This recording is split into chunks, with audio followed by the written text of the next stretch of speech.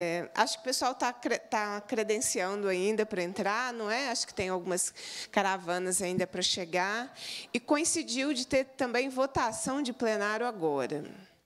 É, às vezes a gente tem convocações extraordinárias de reunião, e o plenário de hoje de manhã muito nos interessa, que nós vamos votar a manutenção da Fundação Caio Martins, sabe? Que a gente batalhou muito contra a extinção que o governo Zema queria acabar com a fundação. E aí, então, para esperar todo mundo chegar, todo mundo fazer o registro, entrar, é, eu vou fazer o seguinte: vou abrir a audiência e vou suspender. Aí a gente vai lá fazer as votações no plenário, o pessoal termina de chegar e a gente volta e faz a nossa audiência toda, tá bem? É, nas audiências, na audiência das ASBs, a gente fez uma dinâmica que foi muito bacana, que além da além da composição né, da mesa com, a, com, os sindicatos, a gente também chamou representantes de cada região, é, porque torna a mesa bem participativa, e o objetivo é fazer dessa audiência um espaço, primeiro, de visibilidade né? da realidade, das especialistas. Vocês estão vivendo muitas coisas, muito acúmulo de serviço, muita coisa. É, e essa ideia nossa de fazer atividades específicas, né? uma audiência das ASBs, uma audiência das especialistas, é exatamente para focar e dar visibilidade à vida de cada pessoa dentro da escola. Né? Quando a gente faz uma luta toda, o todo, às vezes, a gente não, enxerga cada especificidade. Né? O todo também é importante, mas enxergar cada especificidade também é relevante. Então, por isso, nós essa, essa ideia né, é em articulação com a luta. Hoje, Sindesp e Sindil chamaram paralisação não é? Então, com a luta conjunta, né, é, para que a gente possa aí pressionar para melhorar a realidade. Né? Nossa tarefa é se somar nisso. Então, eu vou ler algumas coisas que eu sou que é o rito aqui da Assembleia, né, que a gente tem que fazê-lo. É, vou suspender, e daí, quando vai ter as votações, daqui a pouquinho a gente retorna, tá bem? Então, assim, a votar, plenário é às 10 horas, então, por volta de 10 e 20, mais ou menos, tá bem? Não depende de mim, depende do, do ritmo do plenário, mas não tem muitos projetos na pauta, não. É o projeto principal que está na pauta é sobre a FUCAM mesmo, né? E tem uns dois, três projetos que são muito rápidos também. A votação em si no plenário é muito rápida, desde que todo mundo chegue lá para votar. Tá bem? Então, é, é isso. Aí dá tempo da gente também se organizar e o pessoal terminar de chegar. Tá bem? Ah, aí a gente, vocês vão ter manifestação hoje ou isso? Que horas vocês estão marcando a manifestação? Hã? Duas. Então, a gente pode combinar também, quando a gente retomar. Bom dia. É? A gente pode combinar, quando, quando a gente retomar, que a gente faz a audiência até às 13 horas. Né? Porque aí, depois da fala da mesa, a gente sempre abre também para as pessoas que querem participar, mas aí a gente combina um teto de forma que vocês almocem, que essa parte ela é necessária, né? E aqui muita gente almoçando na região, aí demora um pouquinho, né? Pelos, aqui não é, tem tantos restaurantes assim. É, aí a gente faz a nossa audiência até às 13. E aí, às 13, vocês se organizam para a manifestação. Eu já vou pedir desculpas, porque provavelmente não vou conseguir acompanhar a manifestação, porque tem atividades aqui à tarde e o ritmo aqui está tá um ritmo meio. meio. Hã? Meio insalubre. A Lohana está dizendo aqui, meio insalubre. Às vezes tem periculosidade também, depende do dia. Para nós, mulheres, tem muita periculosidade. Às vezes, ela está dizendo aqui, às vezes tem insalubridade e periculosidade. Por que, que a gente não ganha periculosidade e insalubridade? Estou vendo, você deve ser advogado, né? Você podia nos defender aqui, ó, periculosidade e insalubridade para as mulheres parlamentares. Mas, enfim. É, então, vou fazer a leiturinha suspendo e aí a gente retoma daqui a pouco, tá bem?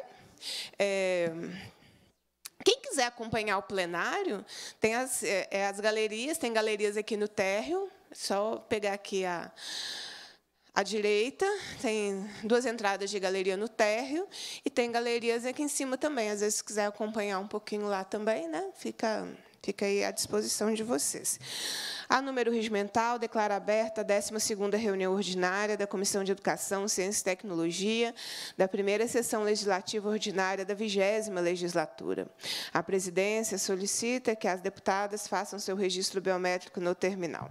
Presidência, nos termos do parágrafo 1 do artigo 132 do regimento interno, dispensa a leitura da ata da reunião anterior, considera aprovada e solicita sua subscrição. Essa reunião se destina a receber, discutir e votar proposições da comissão e a debater a importância da valorização e carreira dos especialistas e das especialistas em educação e suas condições de trabalho no Estado.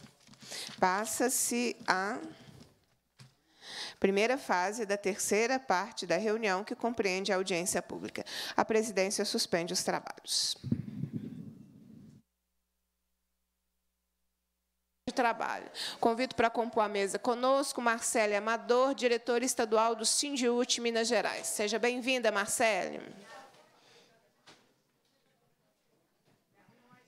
Também para compor a mesa conosco, Carmen Teixeira Soares e Lima, presidenta do Sindicato dos Especialistas em Educação Básica, Sindesp. Carmen, bem-vinda conosco. Convidar o Fernando Antônio França, que é assessor-chefe de Relações Institucionais da Secretaria de Estado da Educação, aqui representando o secretário de Estado da Educação, Igor Alvarenga. Bem-vindo, Fernando, mais uma vez aqui na Comissão de Educação, Ciência e Tecnologia conosco. É, convidar também Dilma Sater Rocha, diretora de núcleos do Sindesp. Cadê a Dilma? Bem-vinda. Convidar também o Edno Geraldo da Silva Rocha, membro da diretoria do Sindesp. Bem-vindo para estar conosco. Ah, convidar a Islane da Silva, que é especialista em educação e vereadora em Janaúba, especialista da Escola Estadual Luzia Mendes Siqueira, cadê a Islane? Bem-vinda.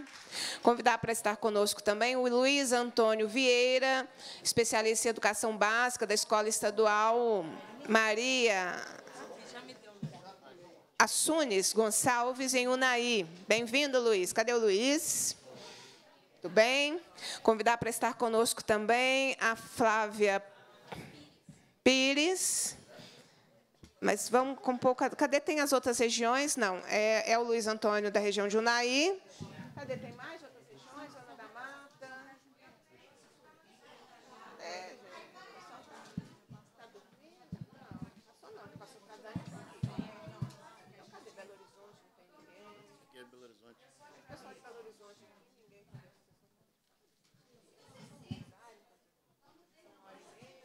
Zona da Mata, tem gente da Zona da Mata aqui. Tenho. E cadê o pessoal da Zona da Mata?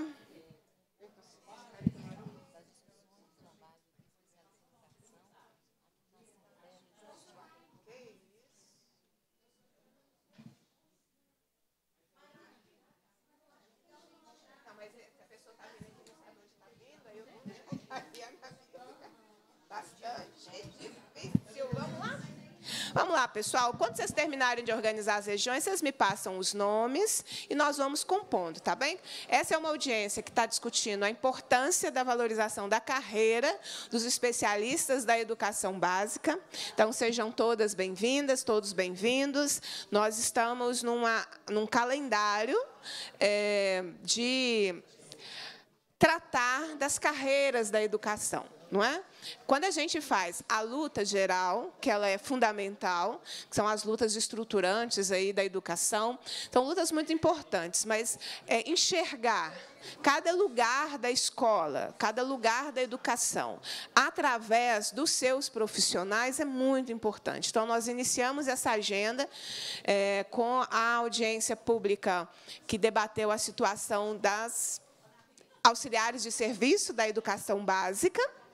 É, e agora essa é a nossa segunda audiência que vai discutir a situação, então, das especialistas da educação básica. Próximo dia 14 de junho está agendada é, a audiência que nós vamos discutir a situação das aposentadas e aposentados da rede estadual. É, e na próxima semana, dia 7, nós vamos fazer uma discussão específica sobre carreira dos profissionais da educação da rede estadual.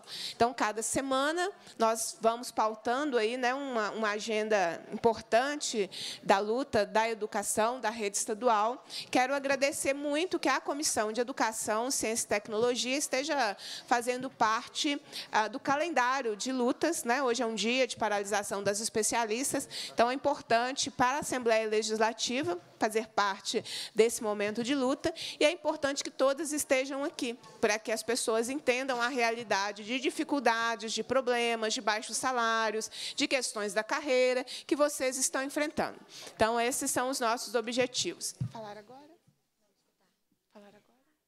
Então, nós já estamos aqui com as nossas autoras do requerimento que deu origem a essa audiência, eu, deputada Beatriz Cerqueira, deputada Macaé Evaristo, vice-presidenta desta comissão, deputada Lohana, também membro efetiva desta, desta comissão. Então, nós estamos aí construindo essas agendas de luta. Então, nós vamos ouvir as pessoas que estão... É a deputada Ana Paula, conosco também. Deputada Ana Paula... Desculpa, eu não tinha visto.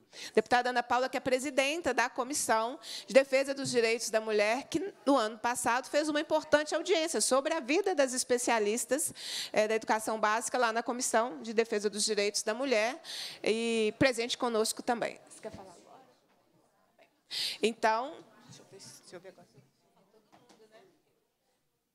Bom, agora acho que eu, eu considerações feitas, nós vamos iniciar aqui, então, é, as nossas falas. Nós vamos ouvir primeiro os convidados que estão aqui, é, depois a palavra aberta às pessoas que estão aqui. Nós havíamos combinado um teto, talvez vamos alargar um pouquinho esse teto em função da demora, né, da continuidade da, da audiência. Eu peço desculpas, mas foi algo que fugiu ao nosso controle. Não é? agendada para hoje uma uma reunião extraordinária do plenário para votações. E nós, nessa comissão, lutamos muito para impedir a extinção da FUCAM. Né? Das quatro comissões é, em que o projeto de lei do governo Zema passou, essa foi a única comissão que votou pela rejeição do projeto do governador, entendendo que o caminho não é diminuir a educação, acabar com instituições educacionais. Não é? E o nosso trabalho, eu não tenho dúvida, que foi norteador para que nós chegássemos ao resultado final, que é a manutenção da Fundação Caio Martins, que acabou de ser votada no plenário. Então, a nossa presença no plenário ela era necessária para que nós pudéssemos fazer essa importante votação e, assim, agora sim, votado, FUCAM fica. É? Então, é muito, muito importante. Nós vamos começar com os sindicatos. Eu vou passar a palavra para Marcele Amador, que é diretora estadual do Sindiute, depois para Carmen. É, Fernando, nós podemos fazer a mesma dinâmica da escuta e, e ao final, é o setor, nos devolutivas? Muito obrigado pela sua presença mais uma vez conosco. Convidamos também a CEPLAG, é, que não, não veio, mandou justificativa? Depois vocês, vocês me falam. É, mas também nós convidamos a CEPLAG, porque as questões de remuneração e de carreira, elas são também dependem da Secretaria de Planejamento e Gestão. Então, sempre quando a gente vai tratar de carreira, remuneração, nós também convidamos, além da Secretaria de Estado de Educação, que é né, a nossa pasta, a Secretaria de Estado de Planejamento e Gestão. Bom, vamos ouvir então a Marcele. Nós podemos combinar aí, a gente, é, é para quem está na mesa, uns sete minutos de fala para cada pessoa que está na mesa, até sete minutos. Fica ali, ó. Tem um cronogramazinho que a gente vai se auto-organizando. É, e, na sequência da mesa, nós vamos ouvir as pessoas que vieram aí de várias regiões do Estado. Hum, com, a, com a palavra, Marcelo. Muito obrigada, deputada. Bom dia a todas, a todos e todes. Eu cumprimento as deputadas no nome da querida Beatriz Cerqueira. Todas, que mesa bonita, né? Mulheres importantes. É, cumprimento também a Carmen, que é a presidenta do Sindesp. E aí aproveito nesse cumprimento para dizer da importância desse momento. O Sindesp representa as especialistas da educação básica e nós aqui não temos disputa Sindiute e Sindesp.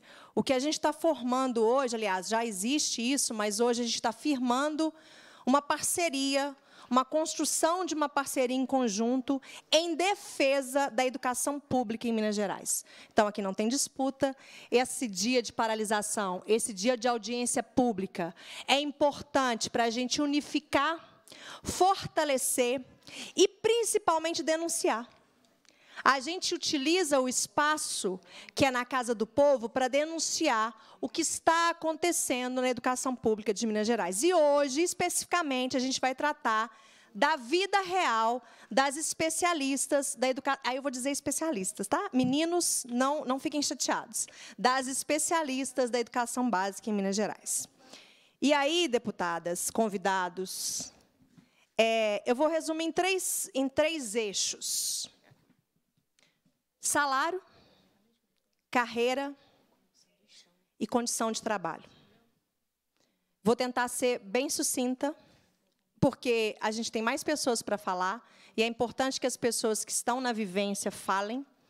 É, resumindo, com relação às carreiras, já tem uma luta e uma defesa que a deputada está travando também na mudança da legislação, né? das solicitações, que a gente tem é, a luta pelo direito do módulo, é, o direito de extensão de jornada, o direito né, de receber pelo acúmulo de funções, que aí vai cair na terceira pauta, o direito da inclusão do nível de certificação, a, a, a questão da legislação também com relação é, a função que eles exercem, para eles poderem exercer a função de secretários, não é isso? E também a mudança, lá no plano de carreira, para ir para a questão do magistério e sair do administrativo. Então, isso são pautas das carreiras, resumidamente, né, gente? É, e que está sendo, muita coisa já está sendo, é, já está em juízo, muita coisa, né? A, a, existe um projeto, projetos de lei em respeito a isso, né? A Bia depois deve esclarecer para nós.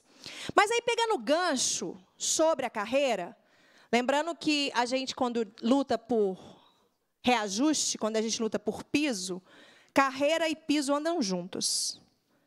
E aí saiu a notícia hoje, né, gente, do concurso. E aí eu queria aproveitar, saiu o edital. Eu queria aproveitar o espaço para perguntar à Secretaria de Educação de Minas Gerais se o número de 1656, que está lá no edital, vai atender a demanda em Minas Gerais. Porque, para mim, numa análise baixa, não atende. E a gente ainda não teve tempo hábil de estudar muito bem o edital, mas já surgiu várias denúncias aqui. Principalmente uma muito grave, de que vai abrir o leque para várias pessoas de várias profissões, é, é, de várias formações.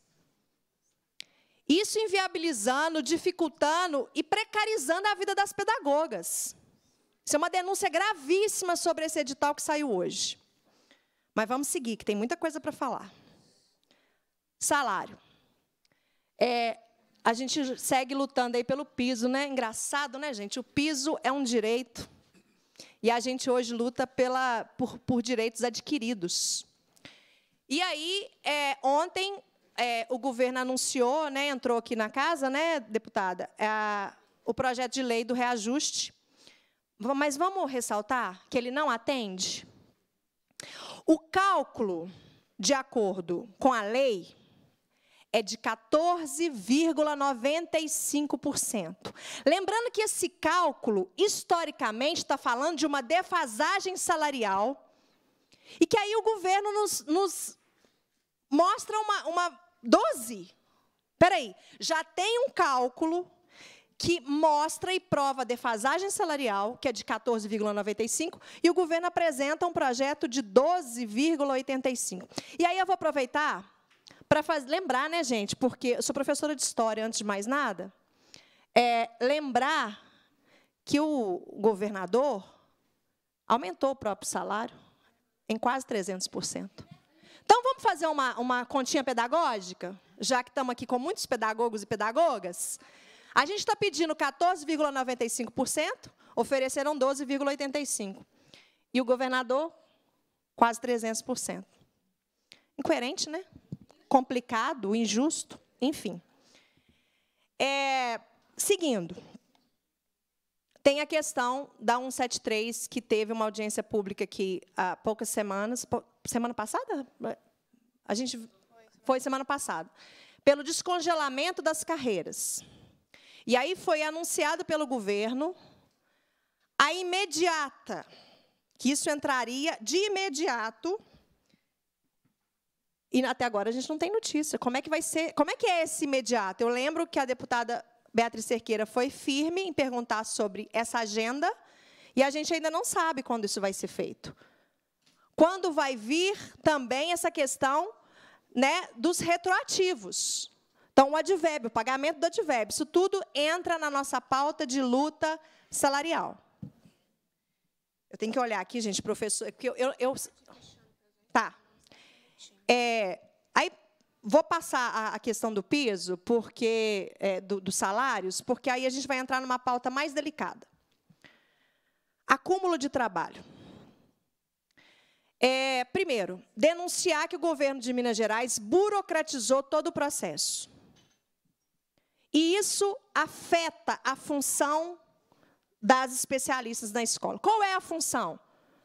Função pedagógica. Então, essa burocratização tem atrapalhado, por exemplo, o novo ensino médio, que além dos lançamentos dos diários, tem umas planilhas. E isso tudo passa pelas especialistas antes. Então, ou seja, prejudica o atendimento pedagógico. E o atendimento dos alunos? O atendimento que é psicológico, o atendimento que é da assistência social está sendo feito pelas especialistas. De novo, prejudica o atendimento pedagógico. E quando essas especialistas cumprem a função de substituição de vice e de diretor? De novo. E, e vai para a sala de aula. De novo, isso prejudica a função pedagógica. Dois, duas, para concluir, nós temos dois caminhos que vão levar a essa situação. Um caminho que é individual, burnout, que desde 2002 a OMS considera como doença ocupacional. Burnout. A pessoa entra num excesso de trabalho e adoece. E o segundo ponto, gente, é que quando afeta o trabalho pedagógico, afeta toda a cadeia dentro do trabalho, dentro da escola. E isso vai precarizar a educação pública de uma forma geral em Minas Gerais. Então, é denúncia gravíssima. Agradeço, força. O Sindiúti, eu estou hoje representando, o, Bia, a, desculpa, Beatriz Cerqueira, deputada, a gente chama Bia, né, com é tanta afetividade e agradecimento. Você pode chamar. Obrigada. Eu estou representando hoje a Denise Romano, que eu falei de burnout, lutar, gente, pelos direitos das trabalhadoras e dos trabalhadores tem nos gerado isso também. Ela está adoecida, e aí eu mando um forte abraço para a nossa coordenadora geral, a Denise Romano, é, um abraço de força, de solidariedade. Então, abraço a vocês todas, especialistas. O Sindiúti vai seguir firme na luta com vocês do Sindesp. Muito obrigada. Obrigada, Marcele. É, vamos passar agora para Carmen presidenta do Sindicato das Especialistas em Educação Básica, Sindesp, para também trazer sua contribuição ao debate. Ah, mas antes, Carmen, me permita chamar a Paula Teixeira, da Escola Estadual Anita, ah, que é especialista da educação básica aqui de Belo Horizonte. Paula, cadê você? Por favor, acompanhe a mesa aqui conosco. Bem-vinda. E, Carmen, com a palavra para suas considerações. Bom dia ou boa tarde, gente? Bom dia ainda, né? É, não somos ainda, né? Bom dia a todos. É um prazer imenso né, poder estar aqui representando o Sindesp, né, o sindicato que representa os especialistas e as especialistas de Minas Gerais. Em primeiro lugar, eu quero agradecer à Comissão de Educação, principalmente né, a presidente da comissão, que é a, a deputada Beatriz Cerqueira, que abriu as portas dessa Assembleia para que nós tivéssemos voz aqui hoje. Tá? Cumprimento também as demais deputadas, não tem nenhum homem que não, né? As demais deputadas presentes. Não, deputada só tem mulher. Deputada só tem mulher. As deputadas né, presentes. Cumprimento o doutor Fernando, né, representante da Secretaria da Educação, aqui conosco, de uma forma especial, os meus dois colegas, Edno e Dilma, aqui presentes, e a todos vocês, queridos especialistas, que hoje se deslocaram dos trabalhos de vocês, das cidades de vocês, muitos de municípios distantes, para hoje estar aqui conosco.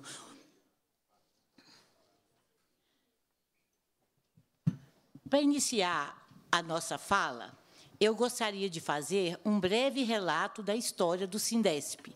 Né, que muita gente hoje mesmo me perguntaram Quantos anos tem o Sindesp? O Sindesp é um sindicato novo? O Sindesp é, sim, um sindicato novo, tem apenas 11 anos. Mas ele é o resultado da associação dos supervisores que existia há muitos anos. Daí surgiu o Sindesp. Mas o Sindesp mesmo só tem 11 anos né, de, de existência, né, com a Gisélia, né, que era a presidente da MISP, ela que buscou e que fundou o sindicato, o Sindesp. E, finalmente, em 2010, é que, que foi autorizado o nosso registro sindical né, registrado no Ministério Público do Trabalho. Nós temos o nosso registro sindical, a carta sindical do Sindesp. Nós somos um sindicato é, que representa os especialistas e é o sindicato que tem a legitimidade de defender as causas do Sindesp do, do, do especialista, dos especialistas. Ele é o Sindesp que pode é, ajuizar ação, é o Sindesp que pode fazer reivindicação junto à Secretaria da Educação, é o Sindesp que pode defender uma causa de especialista, seja, seja é, única, particular, ou seja, em grupo, ou seja, no coletivo. O Sindesp é o representante legal dos especialistas em educação diante da carta sindical que nós temos.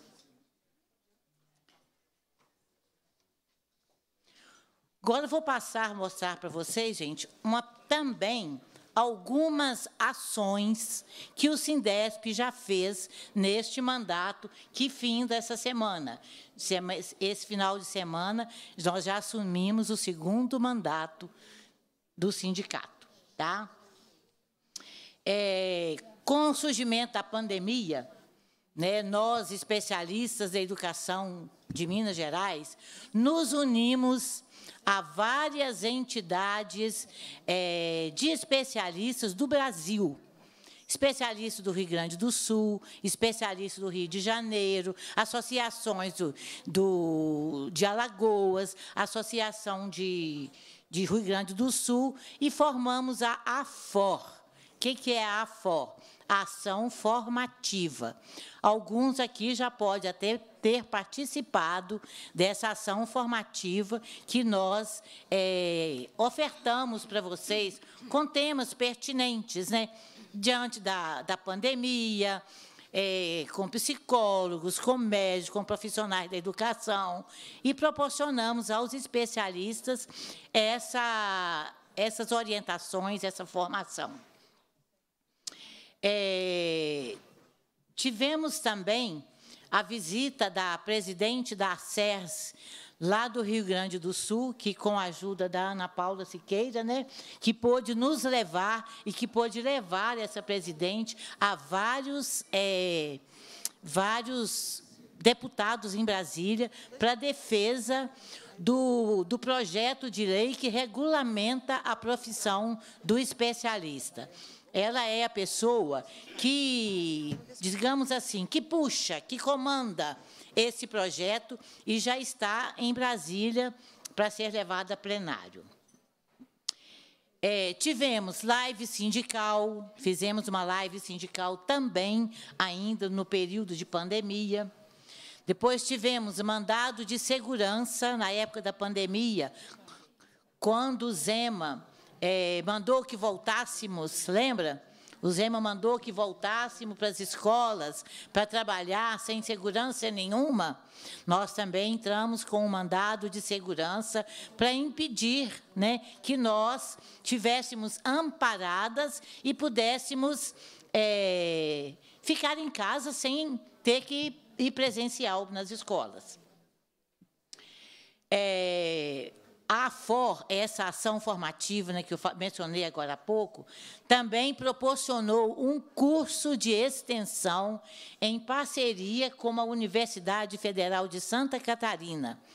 Muitos também aqui puderam é, participar desse encontro. Tem aqui a, a, a Maura, né, que era coordenadora, ela é coordenadora pedagógica do, do sindicato, e ela que comandava essa ação formativa o tempo todo. E ainda é nosso carro-chefe nessa, nessa ação. Então, a Maura mesma fez, né, Maura? O curso de extensão. Pode? Já? Ih, tem muita coisa para eu falar.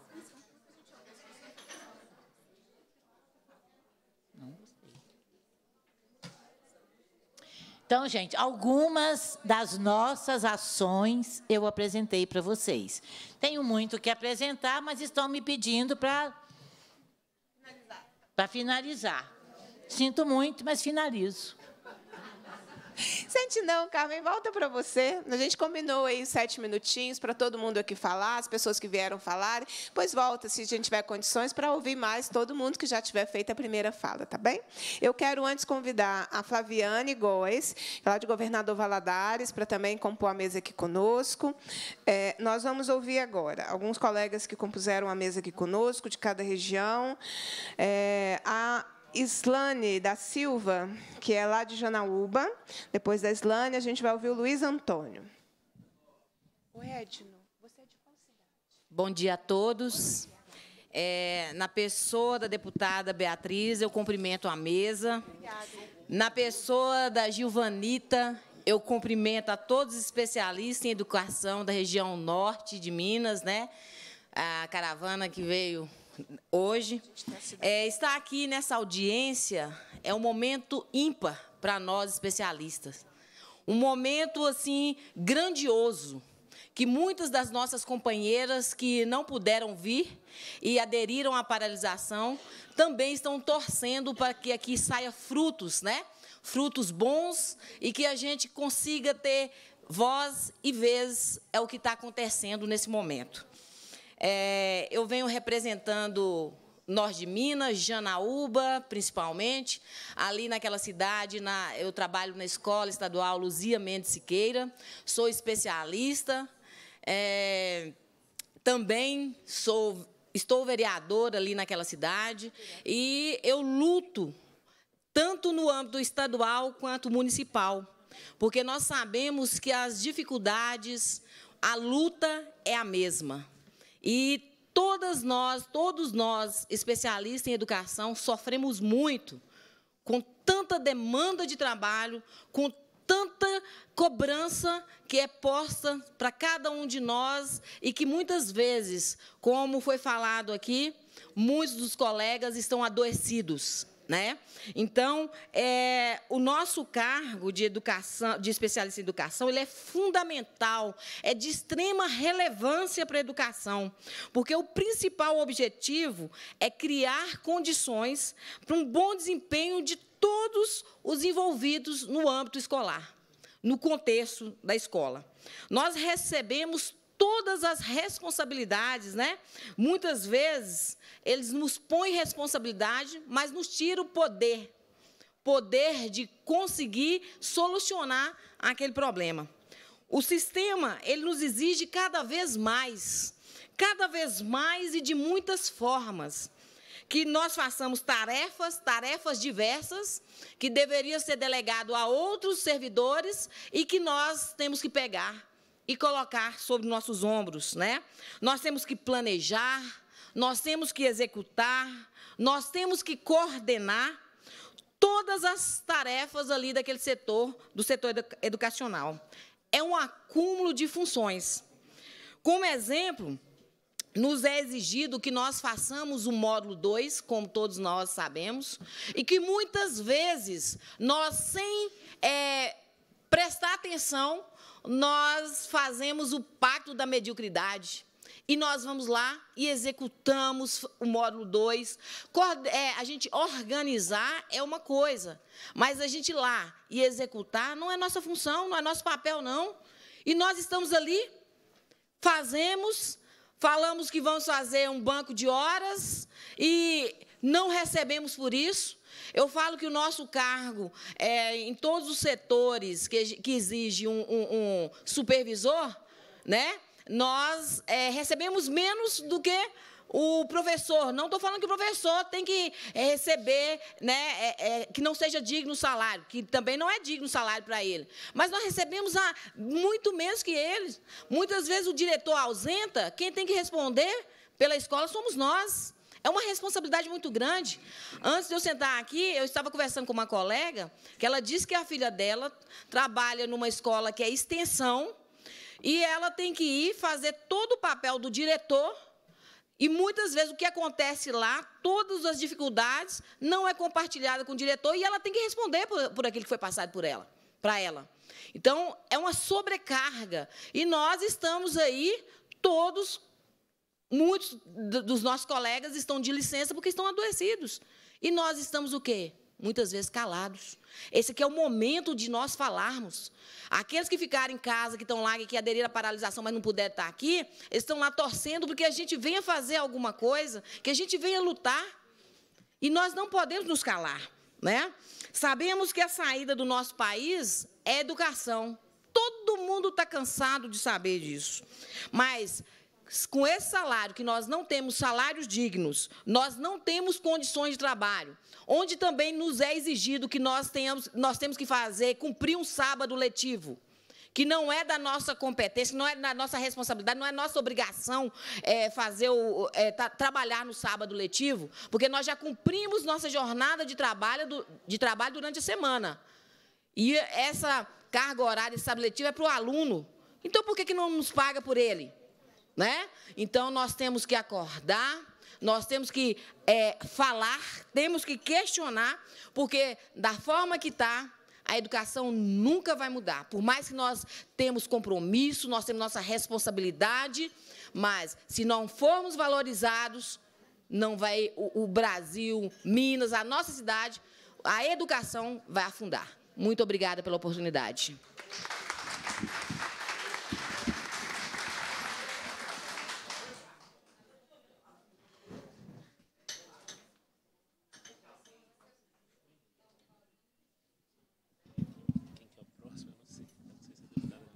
Deixou. Não, aqui. Gente, pela ordem. Próximo. Obrigada. Luiz Antônio Vieira, especialista em educação básica de Unai. Exato. Escola Estadual Maria Assunes, Assunes Gonçalves. Isso. Sua palavra. Boa tarde a todos e todas e todes. É um prazer estar aqui, né, representando a nossa região noroeste. Eu represento a subsede de Unai, e está aqui eu, a Flávia, né, de lá representando a nossa categoria. As falas vão ficar talvez um pouco repetitiva, porque eu já percebi que os anseios, né, as angústias são as mesmas. É, a princípio, né, cumprimentar também a mesa, é, toda a mesa em nome da nossa presidente da comissão, Beatriz Cerqueira.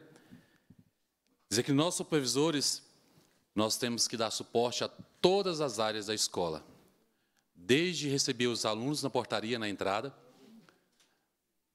dar suporte às ASBs, dar suporte ao professor, dar suporte à direção, dar suporte às AS, ATBs, dar suporte aos pais. Em contrapartida, nenhuma dessas outras funções dá suporte ao pedagógico da suporte ao especialista. Nós temos dar. Nós somos suporte de todas as áreas, mas quando é para exercer a nossa função ou fazer a nossa tarefa, nenhuma outra pode nos substituir. nenhuma pode nos dar suporte. Né? É, nós não estamos exercendo de fato a nossa função. Não estamos. Que é onde dá suporte pedagogicamente ao professor e ao aluno. Porque inúmeras funções que é dado a nós. Agora, ainda mais, o grande número de planilhas que são enviadas para a escola para nós preenchermos. Nós não tem tempo mais de dar suporte, atender o professor na sala, não tem suporte de tomar a leitura de um aluno, de dar suporte pedagogicamente, de saber qual aluno que precisa de uma intervenção pedagógica, de assistir uma aula do professor, né, onde há reclamação de um amar, é, é, onde não está saindo muito bem, que é nossa função, porque estamos sentados diante de um computador o tempo inteiro, preenchendo planilhas com, é, com informações repetidamente. São várias planilhas com as mesmas informações. Né? Talvez seja função da direção, talvez seja função dos assistentes lá na SRE e são mandadas para nós preenchermos. Então, o meu serviço mesmo é, está atrasado porque eu estou preenchendo planilhas e mais planilhas e mais planilhas. Como eu trabalho no noturno também, estando no suporte, substituindo diretor, substituindo vice-diretor, fazendo papel né, de direção na ausência da direção. A nossa carga horária, 24 horas, dentro da escola. O nosso salário, igual ou menor ao professor, que cumpre 20 horas dentro da escola. Então, nós não estou menosprezando o professor, porque eu também, meu segundo cargo é professor, né? merecemos ganhar muito melhor, porém o supervisor trabalha demais, então precisa de um salário condizente ao seu trabalho. É, não somos do magistério quando é para o bem prazer do governo, mas quando requeremos os benefícios do magistério, não temos direito. É.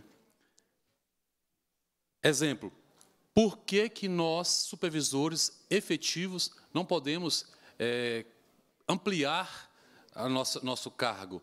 Né? Talvez não o nosso cargo. Por exemplo, eu sou, é, é, sou formado em, outras, em outra disciplina, em outra área, por que não, se tem um cargo vago na escola, por que não me beneficiar? Né? Solta edital para contratar outra pessoa de fora.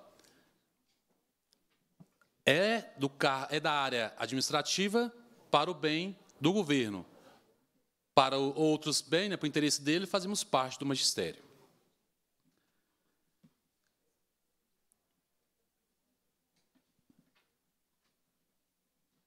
Pessoal, é como eu disse, nós somos, é, temos os anseios, né, os desejos são idênticos. Então, eu eliminei a minha fala porque é, a colega já falou né, de, de, assuntos que eu anotei e tenho certeza que outros colegas vão falar também da mesma fala. Né? Então, a minha fala também já foi contemplada com a fala da, da, da colega ali que está representando o Sintiúte, da nossa vereadora aqui. Então, eu passo a palavra para o próximo, que acredito que vai beneficiar também a nossa fala. Muito obrigado. Obrigada, Luiz. Paula Teixeira Dalferro Santos, Escola Estadual Anita Brina Brandão, região metropolitana C, especialista em educação básica. Olá, gente, tudo bem? Bom dia a todos, todas e todes. Muito feliz de ver né, o nosso grupo aqui Gostaria que tivesse lotado essa plenária, porque acho que a gente merecia ter um olhar diferenciado na educação. É, enquanto especialista, eu observo que a gente fica deixada de lado. É, percebo que, em todas as falas anteriores às minhas, é, tudo que está falado ali é contemplado com muita veemência. Nós somos, como diz, o saco de pancada da escola. A gente recebe as obrigações de todos os setores que a gente tem que receber, mas ninguém vai lá escutar a nossa necessidade, escutar o que a gente precisa. Sentir um pouquinho daquele lugar que a gente tem, que às vezes é um cantinho excluído lá na escola, né? É um computador mais velho que a gente tem, é uma salinha pequena, que a gente não tem muita, muito trabalho é, é, para poder ocupar, que a gente ajeita, a gente aceita, né? porque nós sempre somos assim. Faltou professor, a gente assume. Faltou professor de apoio, a gente também assume, não é? E cadê a nossa, a nossa função? Onde nós estamos nesse espaço da escola? Como que a gente vai cobrar se a gente aceita tudo que está sendo imposto? Um planejamento anual já pronto, que a gente não tem como mudar muito esse local, esse espaço, né? Os professores cansados, pais que também estão precisando de escutar e da gente escutá-los, mas a gente não tem esse tempo. Planilhas, diários, DED, quantas funções nós temos que executar. Então, esse momento que eu acho que tem que ser mais divulgado, e gostaria de pedir, Beatriz, e, e, e vocês que estão né, nesse espaço é, olhando, que não esqueçam dessa função de especialista. Ela é muito importante para a escola porque é ela que vai delimitar, ela que vai orientar uma prova bem feita, ela que vai sentar com o professor para delinear o que não está legal dentro de sala e que poderia ser melhor. É ela que vai observar quando a gente precisa de dar um suporte para esse profissional. E ela é sozinha, porque nós somos sozinhas na escola. A gente caminha por todos os setores, mas sempre, quando a gente erra, somos visa, não avisados. Fala a verdade, gente. Não é verdade? Sempre assim. Ah, mas você não olhou isso direito. Mas isso é sua função. Nós não temos horários, porque a gente deixou a nossa profissão virar isso que está virando. Então a gente tem que lutar sim e batalhar e eu peço ao sindicato né, das especialistas que divulguem que existe um sindicato potente, valente, né, que vai olhar para a nossa carreira e para a nossa função. Então, eu não tenho muito aqui a colocar, porque eu acho que todos já colocaram as mesmas falas. Nosso nível de carreira, que vai até o nível 3, eu acho que muitas não sabem. Depois a gente não sobe mais de nível, a gente só, só vai para letrinha, letrinha, letrinha. Enquanto todas as carreiras sobem mais, né, sobem além do nível 3. Então, a gente tem que também observar como que está a nossa carreira. Como que isso é visto né, pelo Estado? E onde nós estamos nesse espaço? Então, eu queria agradecer muito. Sim. Pois é. E montar o PDI, né?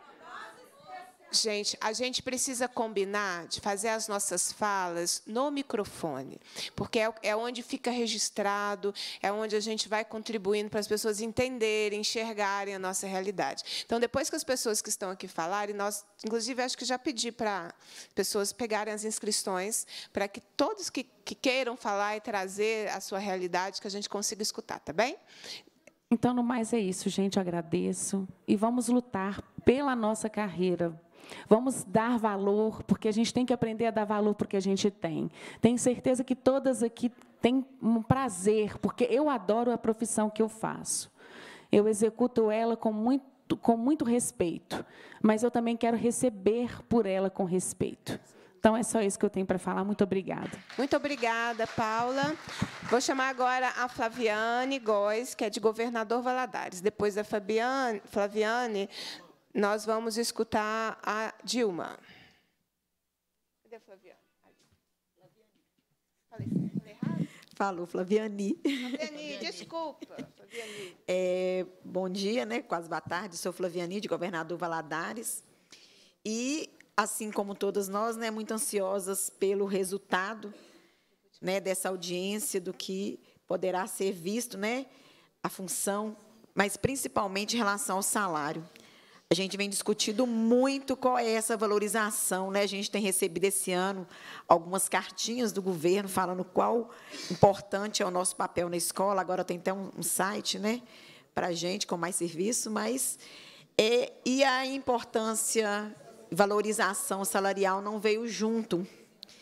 Está aí que nós somos responsáveis por capacitar os professores, somos responsáveis pela formação dos professores, mas que horário que nós temos para estudar, para termos condição de, de capacitar professor, de ajudar na formação de professores?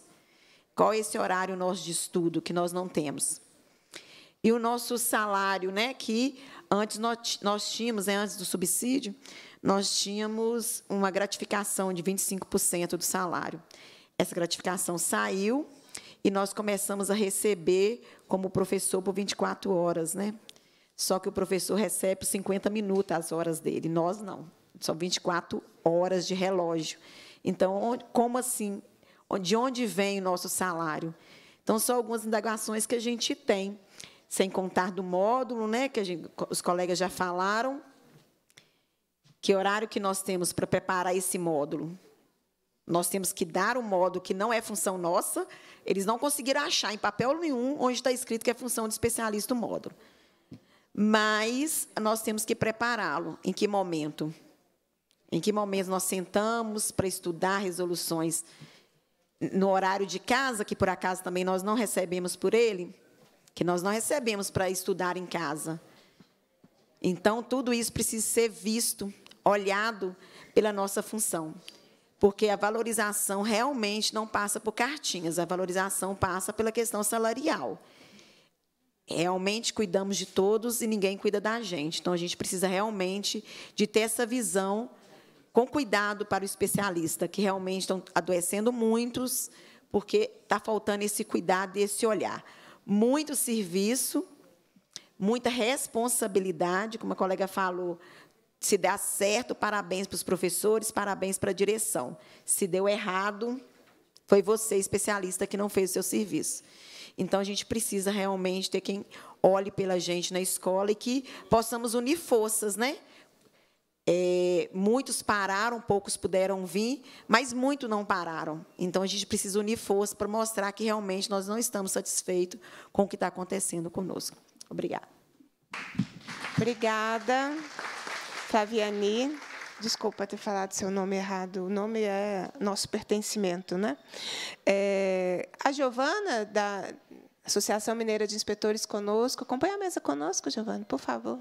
Quero também registrar a presença do Jairo, presidente da CUT Minas, que está conosco, e convidar a Giovana para compor a mesa conosco.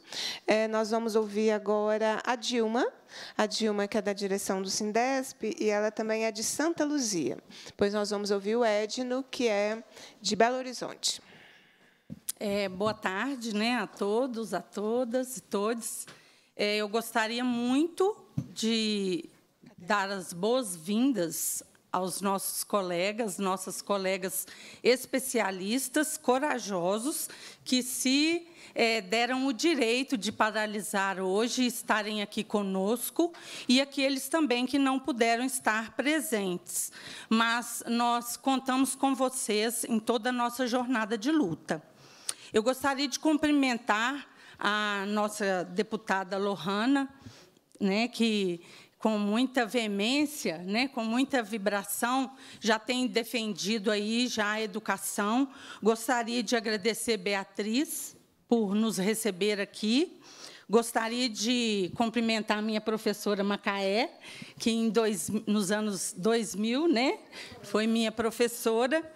E gostaria de cumprimentar Ana Paula Siqueira, né, por ter sido a, a que nos introduziu aqui na Assembleia, no nosso primeiro encontro, nossa primeira audiência pública, aqui em outubro do ano passado. Então, eu gostaria muito de agradecer vocês.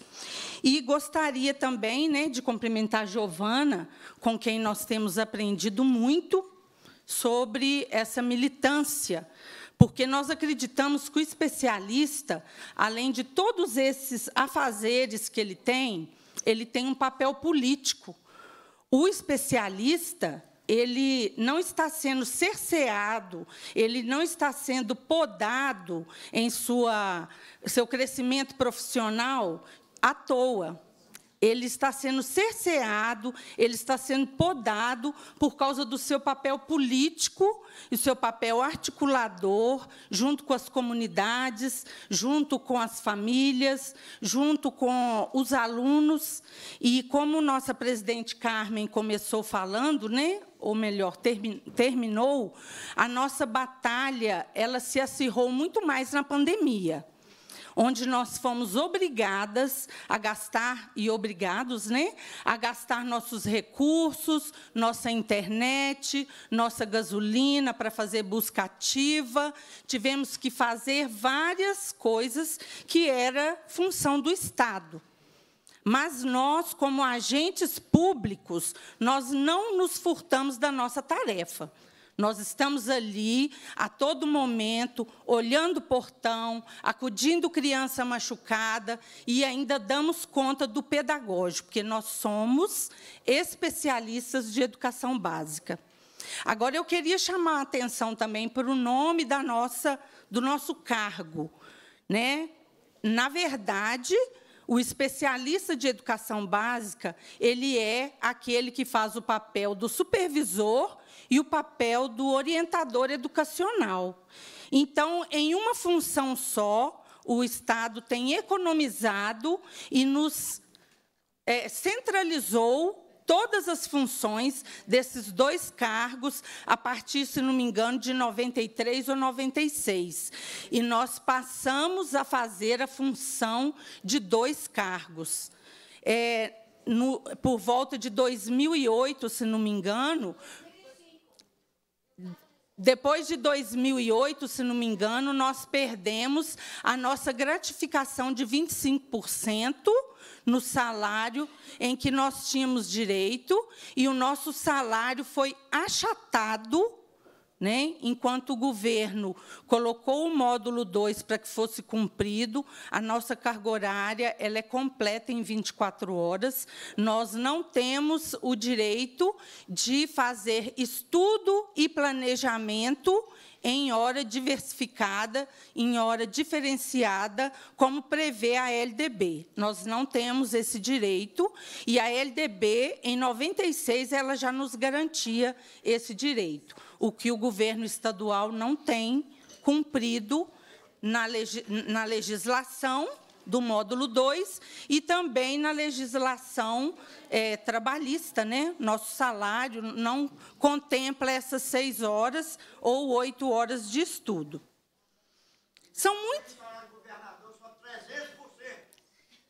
São muitas as.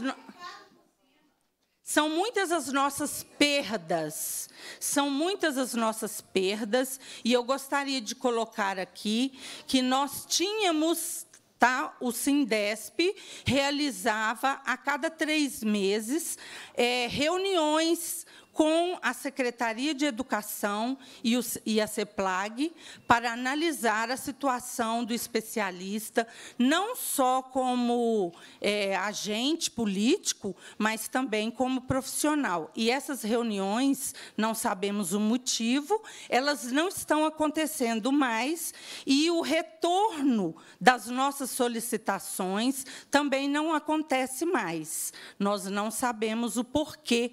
Né? O Fernando Fernando é, ele vai ter um momento de fala, e eu gostaria, Fernando, que você é, anotasse para que fosse dado a nós aí um retorno. Por que essas reuniões deixaram de acontecer e por que as nossas demandas não estão sendo atendidas?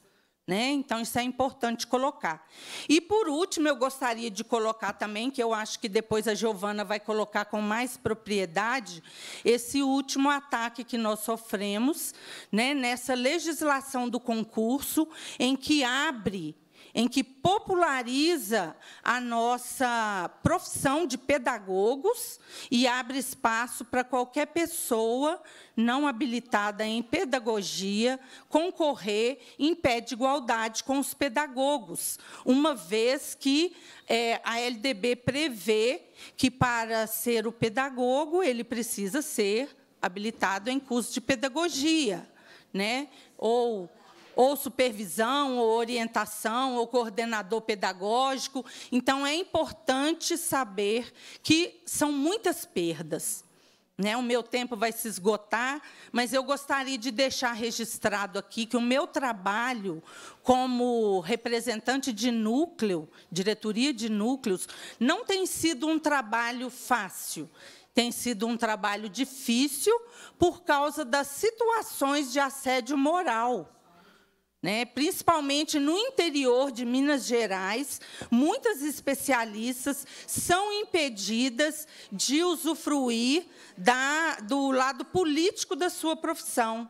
Né, são obrigadas a acatar o que muitos diretores e inspetores decidem né, e têm ali que se calar e se sujeitar a muitos é, é, muitas ingerências. Então, gostaria de colocar esses aspectos e eu gostaria mesmo de agradecer a esse momento e eu fico muito feliz em saber que não levou um ano para a gente voltar a essa casa, viu?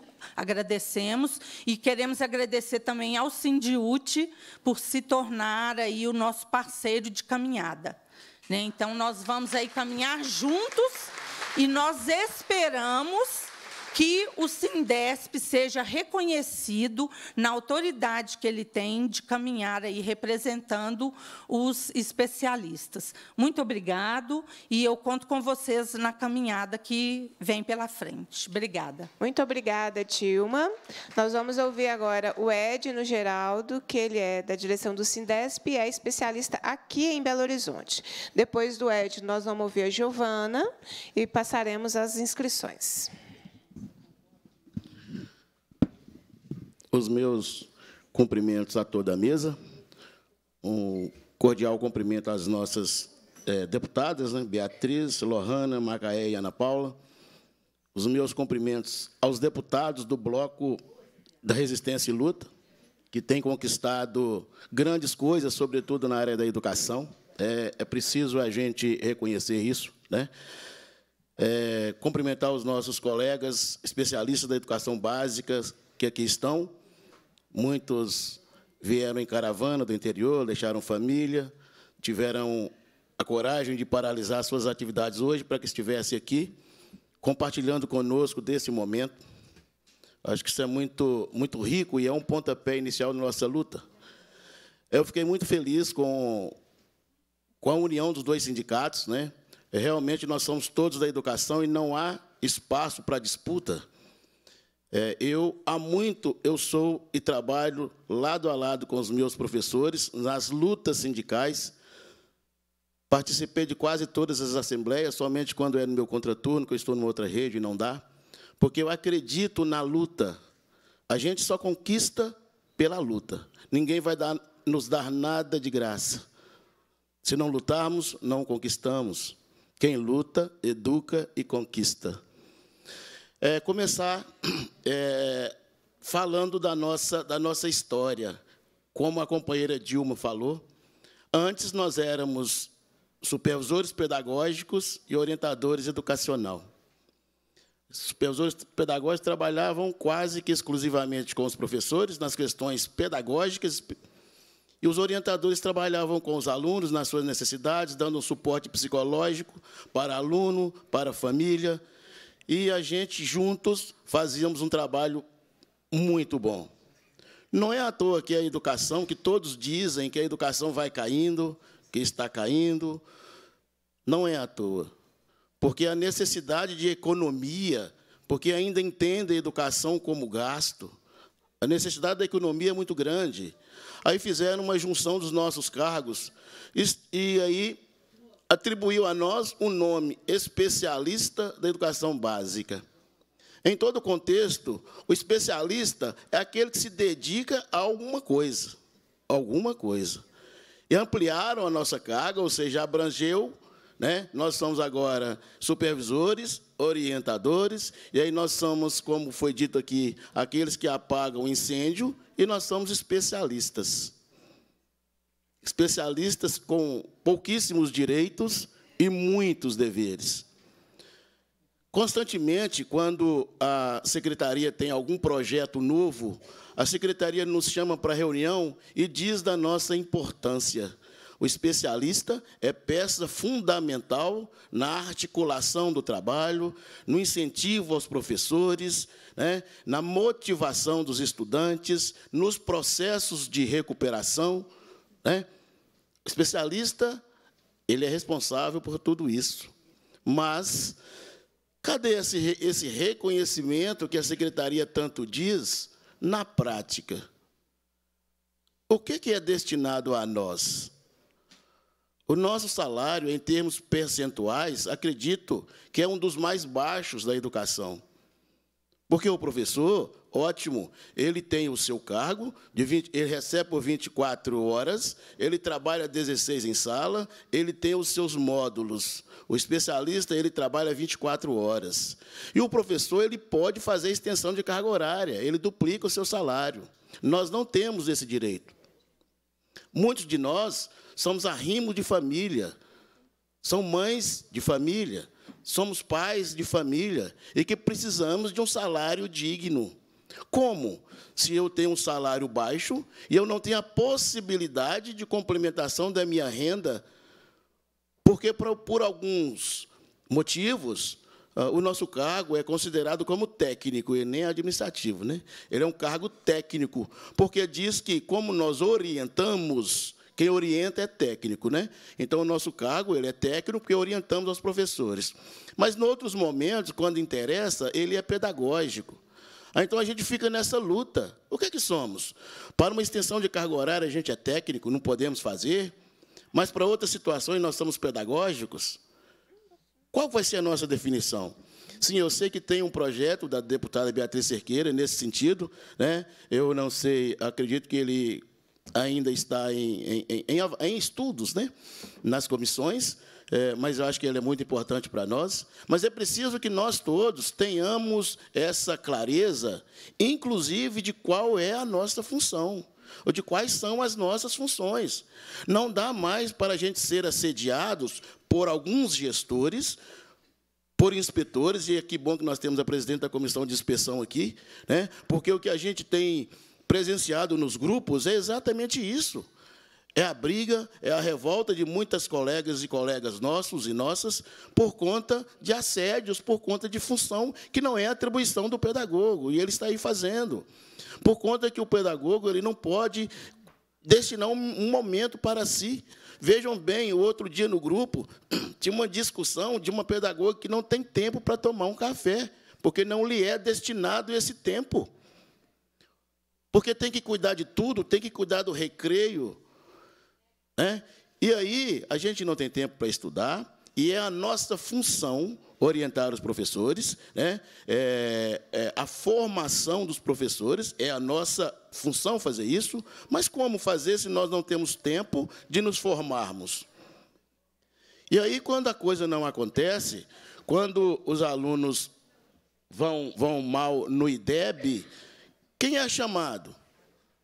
É o supervisor. É o, é o, especialista que é chamado na Secretaria da Educação para dar explicação. Por que, que o IDEB da escola, é, a previsão era de seis e está em quatro? Mas não entendem que são vários os fatores, são vários, são fatores sociais, são fatores familiares, mas não. É você que não fez o seu trabalho direito, você que não orientou o seu professor direito, você que não destinou os momentos de recuperação que os meninos têm direito. E depois, quando você não faz isso, o inspetor, outro dia, disse que o especialista não lê resolução. Não lê resolução. Ele teve coragem de dizer isso. Não, mas o especialista dessa escola não lê resolução. Como não ler resolução? Porque o, o, o, resultado do IDEB não foi bacana, porque a avaliação diagnóstica não foi o que esperavam, porque a avaliação trimestral também não foi o que esperavam. E os processos que levam a isso? É. É, bom, é, é, é muita coisa para ser dita. Nós temos aí a questão dos projetos, está aí, né, que são nossas responsabilidades, né, é, e projetos que nem sempre são, são bacanas, como esse projeto Jovem do Futuro, né, que é financiado pelo Unibanco, né, aí tem outros, enfim. É, enfim, então tem muitas outras questões que a gente precisa debater num outro momento, ou então, se, se, se houver novamente abertura de espaço, a gente volta a, a falar. Tá bom? Aí eu agradeço a todos a todas e a todos. Agradeço à mesa pela oportunidade, agradeço à deputada Beatriz Cerqueira pela abertura de espaço para nós especialistas e vamos para a luta sempre. Obrigado, gente. Obrigada, Edno. Vou passar agora para as considerações da Giovana. É, o Edno, depois eu dou um panorama de como estão os projetos de lei, tá bem? Vou, vou pegar cada um aqui, dou um panorama coletivamente. A Giovana, que é presidenta da Associação Mineira de Inspetores Escolares, sempre parceira, presente aqui na nossa comissão. Depois nós vamos chamar a Ivone Ramos, que é daqui de Belo Horizonte. Então, é, Boa tarde, né? Boa tarde a todos, todas e todes. É, primeiro, agradecer às deputadas, né, novamente, por essa pauta, importantíssima em relação aos especialistas da educação. É, saibam, viu, é, especialista, eu esqueci o seu nome? Edno. Edno, nós estamos com os especialistas. Da mesma forma que vocês estão sendo constrangidos, nós também estamos sendo constrangidos. Estamos constrangidos. É, bom, dizer, é, então, eu quero dizer que a AMI se solidariza com a pauta da, das especialistas no que tange ao trabalho de vocês na escola, no que tange é, ao salário, no que tange à carreira, nós estamos solidários com vocês. É, quero dizer que hoje nós sofremos um golpe. É, infelizmente, o, o edital tão esperado, tão almejado, saiu, por um segundo, nós ficamos felizes, mas imediatamente, ao passar a leitura desse edital, é como se caísse né, um, um, um trovão né, na cabeça da gente. Porque o Estado colocou na exigência da formação do especialista e também do inspetor, é, na exigência não, é, na possibilidade de concorrer ao cargo de especialista e de inspetor, o bacharel e o tecnólogo, que contraria, inclusive, a 15.293, que é a nossa carreira, e, e faz com que crie-se é, um novo nicho é, de trabalho para as pessoas que aí estão, infelizmente, na sociedade, desempregadas, e que passem a compor o coletivo da escola, mesmo não sendo educadores. Porque, por quê? Porque o, o, a formação pedagógica e a especialização são todas listas, estão na 93, 94, barra 96. Mas elas existem, gente, para fechar, para tapar buraco aonde falta o profissional, né? onde a gente não consegue achar o profissional. E não é o caso de Minas Gerais. Minas Gerais tem muitas universidades, tem muitos centros acadêmicos, nós temos formação de muitos licenciados e pedagogos para poder compor esse cargo. Só a título de exemplo, é, Há uma previsão de 60 mil candidatos inscritos para inspetor escolar. Com a abertura desse novo nicho, nós vamos chegar aí a 200 mil. E aí as colegas que são pedagogas ou são licenciadas com especialização em inspeção escolar ou formada na Resolução 01 de 2006, elas não vão conseguir alçar esses cargos. Porque esses profissionais, gente, da engenharia, do direito, é, da contabilidade, eles às vezes têm até uma formação mais é, consistente que a nossa. Porque, infelizmente, a pedagogia há bem tempo, desde a Resolução 01 de 2006, ela vem sendo destruída, atacada.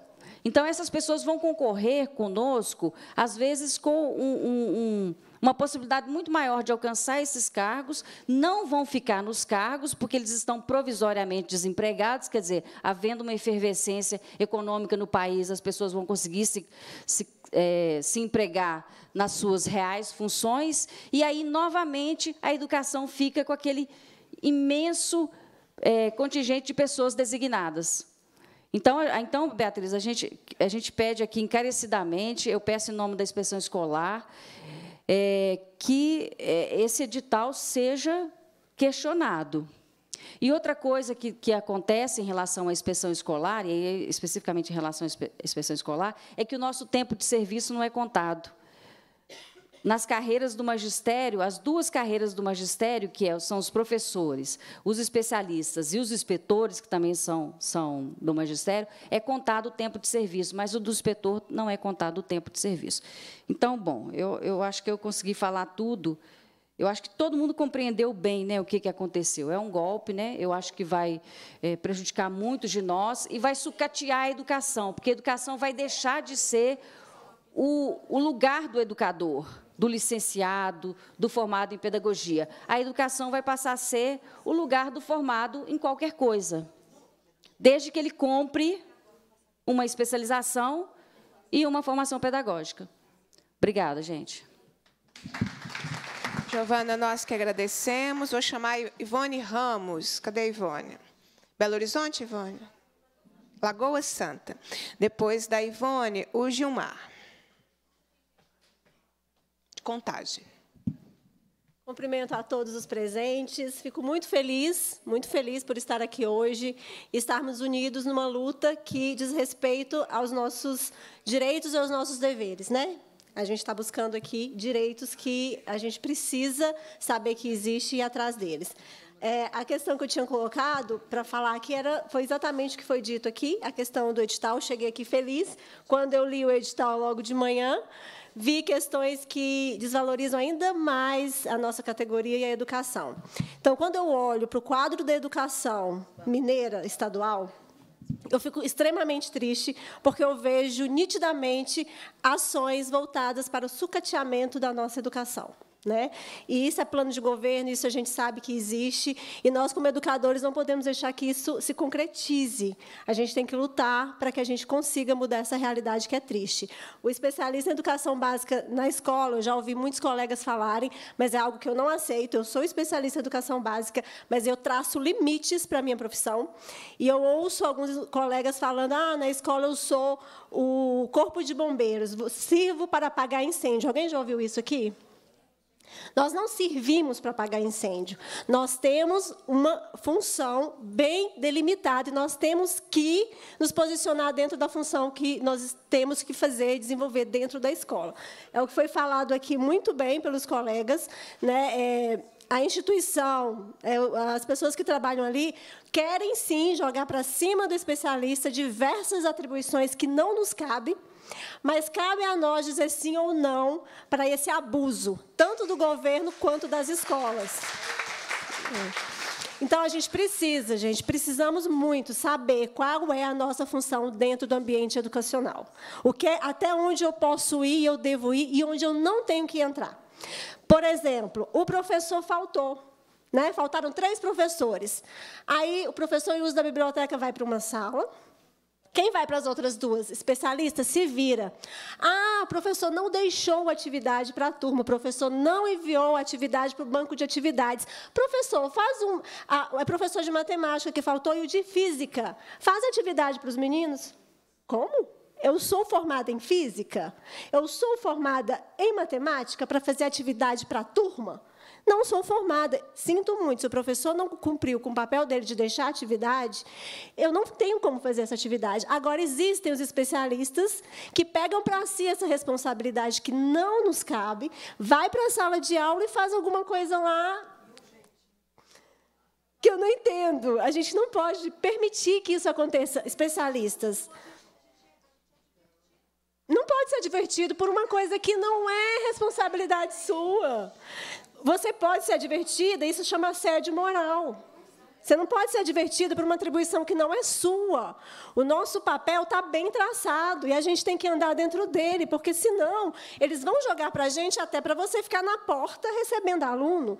Eu não sou porteira, eu não ganho para isso. Nós já temos o acúmulo de função dentro da nossa função, porque antigamente, eu não sei se vocês lembram, tinha um orientador educacional na escola para trabalhar com os alunos e família, existia o supervisor pedagógico para tratar das questões de supervisão.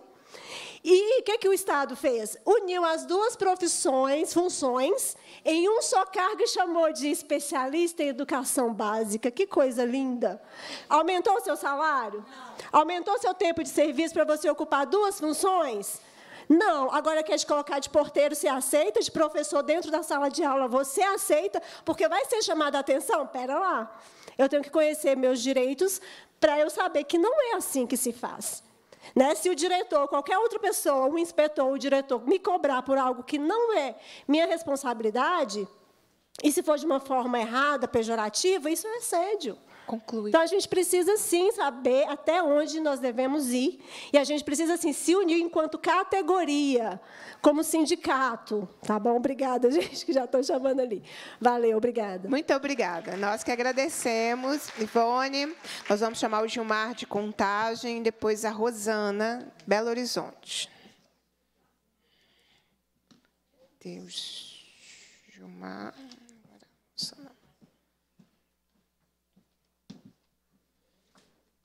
Só fortalecer aqui, porque diz que a imagem vale mais que mil palavras, né? Então, que fique registrado exatamente. É, a deputada ela foi muito sagaz na, na audiência que estava anteriormente. Nós estávamos assistindo aqui, quando, quando você sobe e detecta que parece que tem alguma coisa acontecendo aqui. Será que está havendo uma, uma. Como é que você usou? Uma obstrução? obstrução. Uma obstrução. E, e ela percebe isso né, e, e acaba incomodando. E, e, aqui eu acho que a gente precisa detectar que parece que está havendo realmente uma obstrução velada, se não explícita, ao especialista, ao trabalho do especialista. Nos cumpre detectar realmente isso. E uma das coisas que mais me chama a atenção aqui, eu que gostaria de destacar, é a importância da solidariedade da classe. O, o, o Sindesp tem feito um trabalho muito bom mas eu acho que nós ainda precisamos nos é, coordenar melhor ainda. Por quê? Porque nós nos submetemos a isso de forma voluntária ou involuntária, por opressão, por alguma coisa. Mas nós estamos nos submetendo a essa opressão que está sendo apresentada. Nós concordamos com isso quando nós não tomamos atitudes pontuais em relação a tudo que está acontecendo. E, aliás, nada acontece por acaso. Tudo que acontece está, sendo, está, está acontecendo meticulosamente planejado. Esse edital não é uma coisa assim, ah, será que esqueceram disso? Essas decisões que estão sendo tomadas, tudo isso acontece para poder abalar a nossa relação. E eu estou dizendo isso aqui porque, como um, um, especialista, e um especialista ainda designado, o nosso sofrimento é terrível. Porque a gente vê essas coisas todas acontecendo e você fica como que com os braços, irmãos, amarrados, porque você nem sequer sabe se você vai estar na outra escola, no, na mesma escola, e você é cobrado por uma série de informações que são passadas para você, e você nem terminou de compreender o ecossistema da escola na qual você está inserido, e ainda estão dizendo para você que você tem que mudar, você vai para outra escola, está tudo mudado, as coisas não estão, não existe uma conivência entre tudo, e um, um, um, um, verdadeira, um verdadeiro demônio chamado DED, aflige a vida da gente o tempo todo. Porque não tem cabimento. Você pode fazer tudo certo. Se você pode fazer tudo certo, mas se o DED ele deixa, disser que está errado, você é penalizado por aquilo. Então, eu, eu, acredito que é o seguinte, nós temos uma luta contra o DED, nós temos uma luta contra o governo, e nós não podemos lutar contra nós mesmos. E nós temos que deixar clara a função do Sindesp, nesse sentido, nosso apoio total ao Sindesp, porque até, até hoje eu ainda convivo com pessoas que me perguntam, mas existe um sindicato dos especialistas? Então, isso é algo que nós precisamos tomar cuidado, porque toda essa obstrução velada, ela está nos afetando também, está nos fazendo esquecer da solidariedade da classe. Muito obrigado. Nós que agradecemos, Gilmar, a Rosana. Rosana é de Belo Horizonte, não é? Cadê a Rosana? Por favor. Depois da Rosana, a Maura de Oliveira. Vespasiano. Isso? Isso.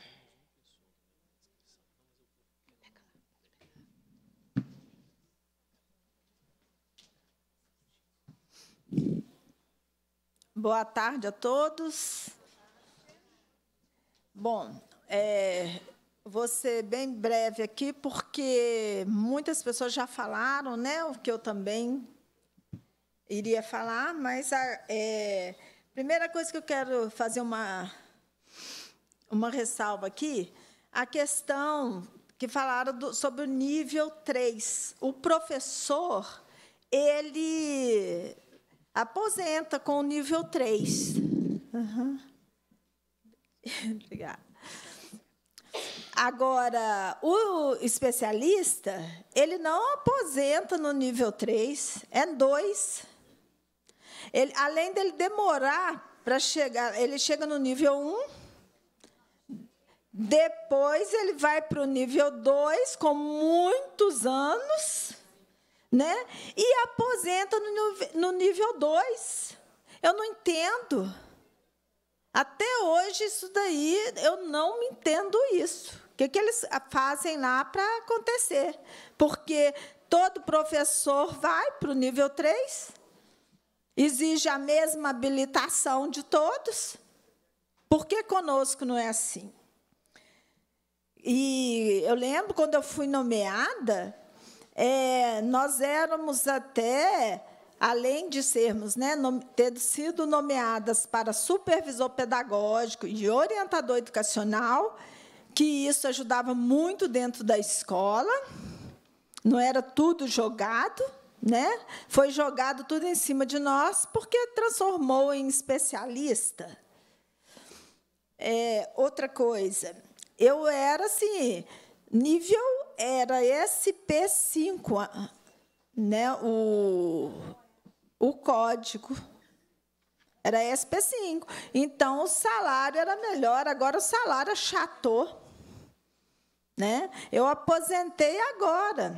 Estava de férias prêmio e aposentei agora no cargo de especialista Sou professora também, eu aposentei primeiro no cargo de professor. Então, toda luta de professor eu estou junto. E dos especialistas. É, uma coisa que eu quero falar também, gente, eu sei que toda regra tem exceção, mas a questão dos inspetores escolares. A gente está tá lá dentro da escola, vivenciando muitos problemas, e tem problemas que a gente tem que tratar com o inspetor, sabe? Para pedir uma ajuda. No entanto, nossa, você não sabe o que você tem que fazer para conversar com o inspetor quando atende. Ele vai dentro da escola, ele só fica lá na secretaria e na, e na direção. Eu não sei o que é, mas ele não conversa com o especialista de jeito nenhum. É. Aí, quando você fala assim, poxa, eu não aguento mais, hoje você vai ter que me atender. Que já aconteceu comigo. Aí, ah, de, é, deixa para lá. Gente, eu já ouvi isso. Então, quer dizer, mudança gera trabalhos. Claro. Então, é como se para mim ficou, ó, deixa como está. Você se vira aí, deixa a bola rolar. Porque ele não quer ter o trabalho. Mais que eu pus aqui na minha colinha. Ah, é. O, a questão da falta de respeito com os especialistas, que a gente não tem horário, né? Eu garanto lá o horário do professor, né? Respeito Agora, o do especialista, ele está sendo tão desrespeitado que, às vezes, a sala. Tem gente que não pede nem licença, vai adentrando. Você está em atendimento. Ele não pede nem licença. Agora, eu sempre pedi licença para eu entrar numa sala de professor, se eu precisar ali daquele momento, a primeira coisa que eu faço é pedir licença. É, gente, é isso mesmo é, que eu queria falar, porque o resto já o pessoal já tem falado aí, já falaram, tá? E fica aqui a minha indignação é, para o nosso cargo de especialista. Ok? Obrigada. Obrigada, Rosana. Antes de nós ouvirmos a Maura, vou passar para as considerações da deputada Ana Paula Siqueira, mas me permita, deputada, também registrar a presença, esteve conosco até há pouco, o deputado, o vereador Bartô, de Viçosa, Câmara Municipal de Viçosa, é professor, realizou nessa segunda-feira um importantíssimo debate sobre a revogação do novo ensino médio. Então, deixar aí um abraço para o Bartô, vereador de Viçosa, e todo o trabalho que ele desenvolve é, na cidade. Passar a palavra para suas considerações. Joia, deputada Beatriz, obrigada. Boa tarde, gente. Boa tarde para quem almoçou, né? Para quem não almoçou, bom dia. Bom dia. Bom dia. Ah, isso aí. Nós estamos compreendendo que é porque nós não almoçamos, então não chegou a tarde ainda. Bom, gente, quero aqui cumprimentar as minhas colegas deputadas, parabenizar pela iniciativa, Lohana Macaé, Beatriz. É, a gente já vem acompanhando há mais tempo as questões que perpassam os profissionais especialistas em educação aqui na Assembleia. Quero saudar todas as especialistas e os especialistas aqui presentes, que nos acompanham através dos canais é, da Assembleia, todos os educadores, os sindicatos aqui presentes, e vou cumprimentar todos na presença da minha querida colega e companheira já de muitas caminhadas, Carmen, que incansavelmente tem feito é, as discussões aqui na Assembleia, tem apresentado, tem nos solicitado é, atitudes e ações para que a gente possa é, garantir, é, primeiramente, o respeito para com todos os especialistas em educação. Aqui já foi dito muita coisa, né? Vocês já conseguiram é, trazer aqui para os registros da Assembleia todos os problemas que vocês enfrentam na educação, especialmente pública aqui do nosso Estado. Então, nós estamos numa audiência falando sobre remuneração, falando sobre planos de carreira, falando, infelizmente, sobre assédio, sobre dúvidas e problemas em relação à função específica dos especialistas em educação. E agora, com essa questão do edital do concurso, eu ouso dizer que nós também estamos falando de agressão. Porque é isso que o governo do Estado faz quando ele propõe um, um edital de concurso, onde ele permite que quaisquer outros profissionais possam assumir as funções de especialistas qualificados, estudados e entregues à profissão como vocês. Então, isso é mais um dos grandes absurdos que a gente vê acontecendo aqui no Estado de Minas Gerais e que o governo Zema é, não se envergonha né, de maltratar, de desrespeitar profissionais tão importantes na educação quanto vocês. Foi dito aqui, são profissionais que dão suporte sem suporte. São profissionais que deveriam estar sendo assistidos pelas superintendências, pelos superiores e que estão sendo massacrados. São profissionais que deveriam garantir é, o processo pedagógico dentro das escolas e está tendo que tampar sol com a peneira, entrando para a sala de aula e fazendo malabarismo. Isso é inadmissível, gente. Inadmissível. Na audiência, que nós realizamos no ano passado, no dia 26 de outubro de 2022, todos esses aspectos foram apresentados. E todos esses aspectos foram encaminhados para o governo do Estado. Nós tínhamos uma representante da Secretaria de Educação aqui. E aí, nós falamos sobre os problemas da carreira, né? Os professores especialistas da educação básica são tratados de forma diferente. Nós falamos sobre é, sugestões, inclusive, de soluções, como a alteração da promoção a partir de avaliação de desempenho, né? foi uma proposta apresentada lá nessa audiência. Falamos do absurdo que é quando vocês assumem a substituição de é, diretores e não têm remuneração compatível com essa substituição. Falamos do problema de limitação de ocupação de outras funções, como o cargo de secretário, por exemplo. Conversamos sobre a lei de diretrizes e bases. E eu vou ler aqui para vocês o que a representante do Estado nos disse naquela audiência. Abre aspas. E aí, Fernando? Já aproveitando aqui para compartilhar também com o senhor e reafirmando que todas essas anotações foram encaminhadas devidamente para a secretaria.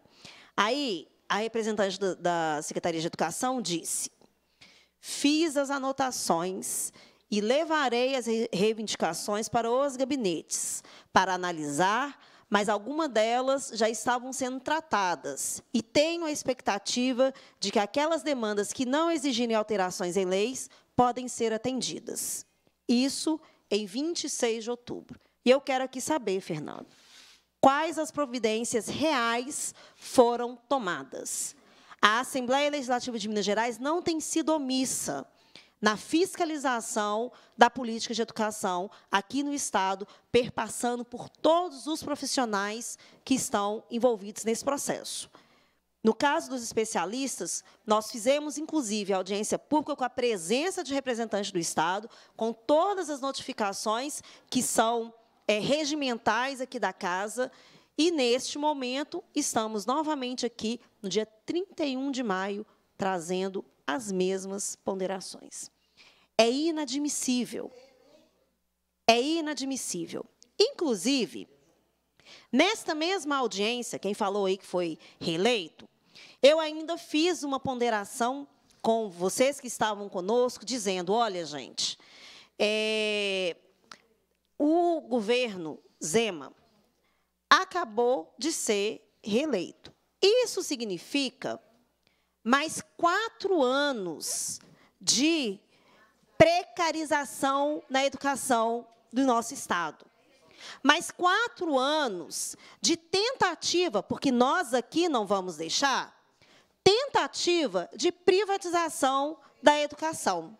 São mais quatro anos fazendo política para inglês ver. E é para inglês ver mesmo, porque o que se espera da educação aqui no Estado de Minas Gerais, a partir desse governo, é privatizar para enriquecer alguns e deixar muitos prejudicados. Aqui alguém falou que a educação está sendo tratada ou está sendo olhada como economia. Mas eu digo mais Está sendo tratado como mercadoria. Mercadoria. E esse é um grave problema deste governo que está no estado de Minas Gerais e dos prejuízos incalculáveis às nossas crianças e adolescentes e, consequentemente, ao futuro da nossa sociedade. Porque, gente, quando eu fiz o meu curso de magistério no Instituto de Educação, eu sou professora alfabetizadora. Eu não sou especialista em educação. Então, se me pedir para fazer a função de especialista de educação, eu vou chamar a minha irmã, que é pedagoga. Eu não vou assumir essa função, porque ela não é minha. Eu estudei para alfabetizar crianças e adolescentes. E aí, tinha um livro que me marcou profundamente, que o livro, o título dele era assim: Você finge que ensina e eu finge que aprendo. Werneck né? Você finge que ensino e eu finge que aprendo. E aqui, o que o governo de Minas faz é fingir que investe em educação e fingir que está educando pessoas. E nós não vamos. Nós não vamos. As nossas. Nós somos poucos aqui no bloco de oposição ao governo Zema aqui na casa, mas somos muito fortes na nossa capacidade de intervenção, na nossa capacidade de fiscalização e na nossa capacidade de mobilização. E é por isso que eu quero que vocês tenham a certeza. Nós estamos juntas e juntos pelo bem da educação pública do Estado de Minas Gerais. Responder.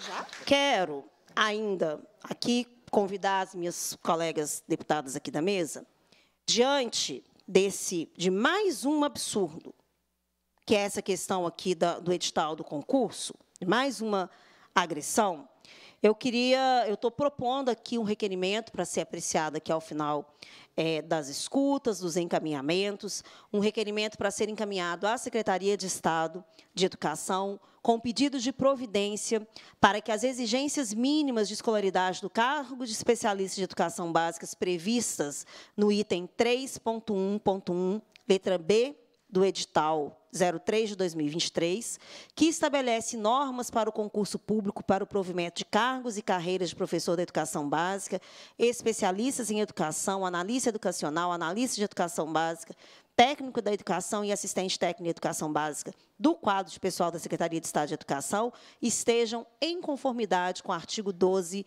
inciso 2 da Lei 15.293, de 5 de agosto de 2024, que institui as carreiras dos profissionais de educação básica do Estado de Minas Gerais. É inadmissível um concurso público que nós estamos esperando há anos vir com essa surpresinha maldosa do governo Zema. Então, eu peço aqui às minhas colegas deputadas que assinem conosco e, com esse requerimento, a gente espera medidas imediatas do governador, garantindo que a função dos especialistas seja exercida por especialistas. Estamos juntas.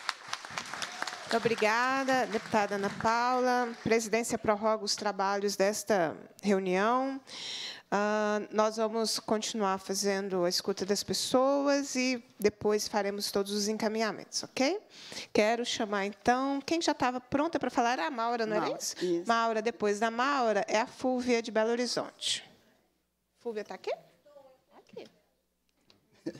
Então, meus tá cumprimentos à mesa e meus cumprimentos aos presentes. Eu sou Maura de Oliveira e Lima, eu moro em Vespasiano, sou especialista em educação já aposentada e estou diretora pedagógica no Sindesp. Eu vou ser breve na minha colocação.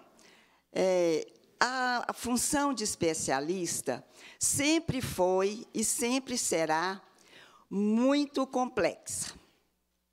Exige assim uma realização de diversas ações para o cumprimento dos objetivos. E, além disso, exige um desgaste mental, físico e uma constante preparação, estudo para estar cumprindo bem e alcançando resultados positivos. Então, eu, como já disse a vocês, eu sou aposentada. O que eu quero pedir aqui é que os benefícios que forem conquistados, que nós conquistarmos para os atuais especialistas que estão em campo, que seja também contemplados para os aposentados que já estiveram lá por 30 anos com todos esses problemas e dificuldades que estamos vivenciando hoje. Muito obrigada.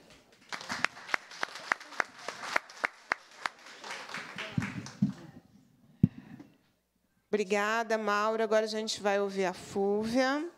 E depois da Fúvia. Bet... Daqui a pouco. Tá, tá, nós estamos indo bem. Vamos dar tempo de ouvir todas as pessoas, retornar e fazer a parada do almoço. É, depois da Fúvia, nós vamos ver a Betânia, que é de Januária. Isso? Por favor. É, boa tarde, pessoal. É, estou muito feliz de estar aqui representando a minha categoria tão sofrida como especialista de educação. Fiz concurso em 2001, fui nomeada em 2002 e tenho uma trajetória de 26 anos como especialista em educação. É, eu era orientadora educacional, trabalhava junto com supervisão, como meu colega me falou, e tudo que foi falado aqui acontece e de uma maneira muito autoritária. Deputada Beatriz, Macaé e os demais colegas da mesa. Eu estou horrorizada com a maneira que estão tratando os professores, especialistas e demais trabalhadores na educação. Porque o autoritarismo parece que a gente não está numa democracia. Porque é olhar recreio, porque eu estou com um problema na perna, Beatriz, porque eu caí em sala de aula, porque eu sou professora da rede municipal de Belo Horizonte, da educação infantil, porque eu escorreguei num brinquedo, porque eu vi as minhas colegas em 2018 apanhando da polícia, porque o Calil não nos atendeu. A minha colega Paula sabe disso, que ela estava no comando de greve. Eu estou falando mentira, Paula? É assim que se trata a educação no Brasil. Em Minas Gerais, é assim que se trata. E eu estou angustiada, sim. Eu fiquei doente, sim. Mas eu não vou desistir da minha luta, porque eu fiz curso de pedagogia, eu passei no concurso, nada contra os designados. Mas eu quero saber até que ponto eu tenho que ficar omissa e calada, porque eles chegam para mim e falam numa reunião, reunião de videoconferência com um diretor da Secretaria de Educação, que eu não lembro o nome, nem quero saber o nome dele. Porque ele falou que se a gente não fizer o DED, não fiscalizar professor, porque é isso que a gente virou. Passando noites, noites e madrugadas que a gente teria que responder processo administrativo disciplinar, os famosos PADs. E isso está acontecendo. Sabe por quê, gente? É ordem do governador Zema. É ordem. Ele judicializou uma greve nossa pelo piso. É direito nosso. A gente está lutando há anos para conseguir o piso. É a primeira vez que eu participo de uma audiência pública como especialista. Então, eu quero saber aonde que nós vamos chegar. Porque se, se as deputadas fazem as anotações, passam para o governo e a gente escuta que não tem dinheiro para pagar, seis anos, gente, de salário atrasado. O que, que é isso? Isso é um absurdo. Uai, não sei, porque eu não recebi. Você recebeu? Eu não recebi. Eu recebi da Prefeitura de Belo Horizonte. Eu também estou. E eu sou arrimo de família, igual meu colega falou. Eu tenho que tratar do meu filho de 18 anos, que, meu, que o pai dele está desempregado. Eu tenho que cuidar da minha mãe, que a minha mãe está doente, foi professora também. E o salário dela, Beatriz, não dá para cobrir, então, o meu salário. Sabe quanto que eu recebo, gente? 3.080 bruto. Com 26 anos de trabalho com pós-graduação. Me sobra R$ 2.480. Aí eu tenho que fazer bolo de cenoura e bolo de laranja para vender. É isso que é minha realidade, Beatriz. E eu acredito nesse bloco de oposição. Porque, primeiro, que eu votei na Beatriz duas vezes. Obrigada. Votei. Gosto muito da Macaé, porque no tempo que a Macaé foi secretária de Educação, a gente não sofria tanta perseguição como a gente está sofrendo agora dentro das escolas. Porque o assédio moral aumentou demais. E eu não aceito esse tipo de coisa. Eu estou aqui desabafando. Eu não estou falando mentira, não vou ser política, porque eu não, não quero ser. Estudei para ser pedagoga. E eles estão me, me, me cercando de todos os jeitos. E eu estou muito emocionada, Beatriz. Estou muito triste. Sabe? Porque eu estou ficando doente para defender os meus alunos na escola. Eu trabalho numa escola de periferia, Escola Estadual Bolivar Tinoco Mineiro. O senhor representante do Estado, eu tenho 25 salas de aula com esse novo ensino médio, que de novo não tem nada, que é uma falta de respeito com os alunos, com o meu filho de 18 anos que estuda na Escola Estadual Tito Fugêncio, que não tem professor o tempo inteiro, que ele tem que, se, que as aulas de matemática e português foram tiradas. Não houve discussão nenhuma com a categoria de professor. Vocês já viram como o Instituto de Educação está sucateado? O incêndio estadual central, que, que acabou, gente. Uma escola que era referência. Até quando vocês vão fazer essa maldade com a gente? Que isso é maldade. Eu não aceito que um diretor de Secretaria de Educação fale que eu vou ter processo administrativo disciplinar porque o DED não funciona, porque é um sistema totalmente indigno. Sabe? Eu não tenho mais palavras, Beatriz, porque o meu coração está destruído. Porque podem até. O nosso Milton Nascimento, ele fala. Eu vou entregar a carta para Beatriz Cerqueira. Me desculpe, pessoal, mas eu estou muito emocionado. Ele fala naquela música: os sonhos não envelhecem. E não envelhecem mesmo. Porque se eu estou aqui hoje, gente, eu devo ao Cid Uti, a minha colega Idalina, que me tirou de uma escola que eu estava sendo assediada moralmente, me colocou nessa. Então, eu vou entregar esse meu pequeno histórico para Beatriz Cerqueira, para Macaé e para as outras deputadas, para ver se me ajuda na escola para ver se me dá uma luz, porque eu, sinceramente, eu, tô, eu não posso desistir, porque eu preciso de, desse dinheiro, que é um vergonha. Eu tenho vergonha de falar que eu ganho só isso, gente. Eu tenho vergonha. Eu estou cansada de escutar discursos e mais discursos de governador que entra e sai eu não votei nesse Zeme, nem vou votar. E é uma vergonha o povo mineiro ter votado nesse homem. E eu vou entregar o meu relato, o meu desabafo para Beatriz Cerqueira. Eu tenho certeza que nós vamos sair vitoriosos daqui. Porque isso é uma luta histórica nossa.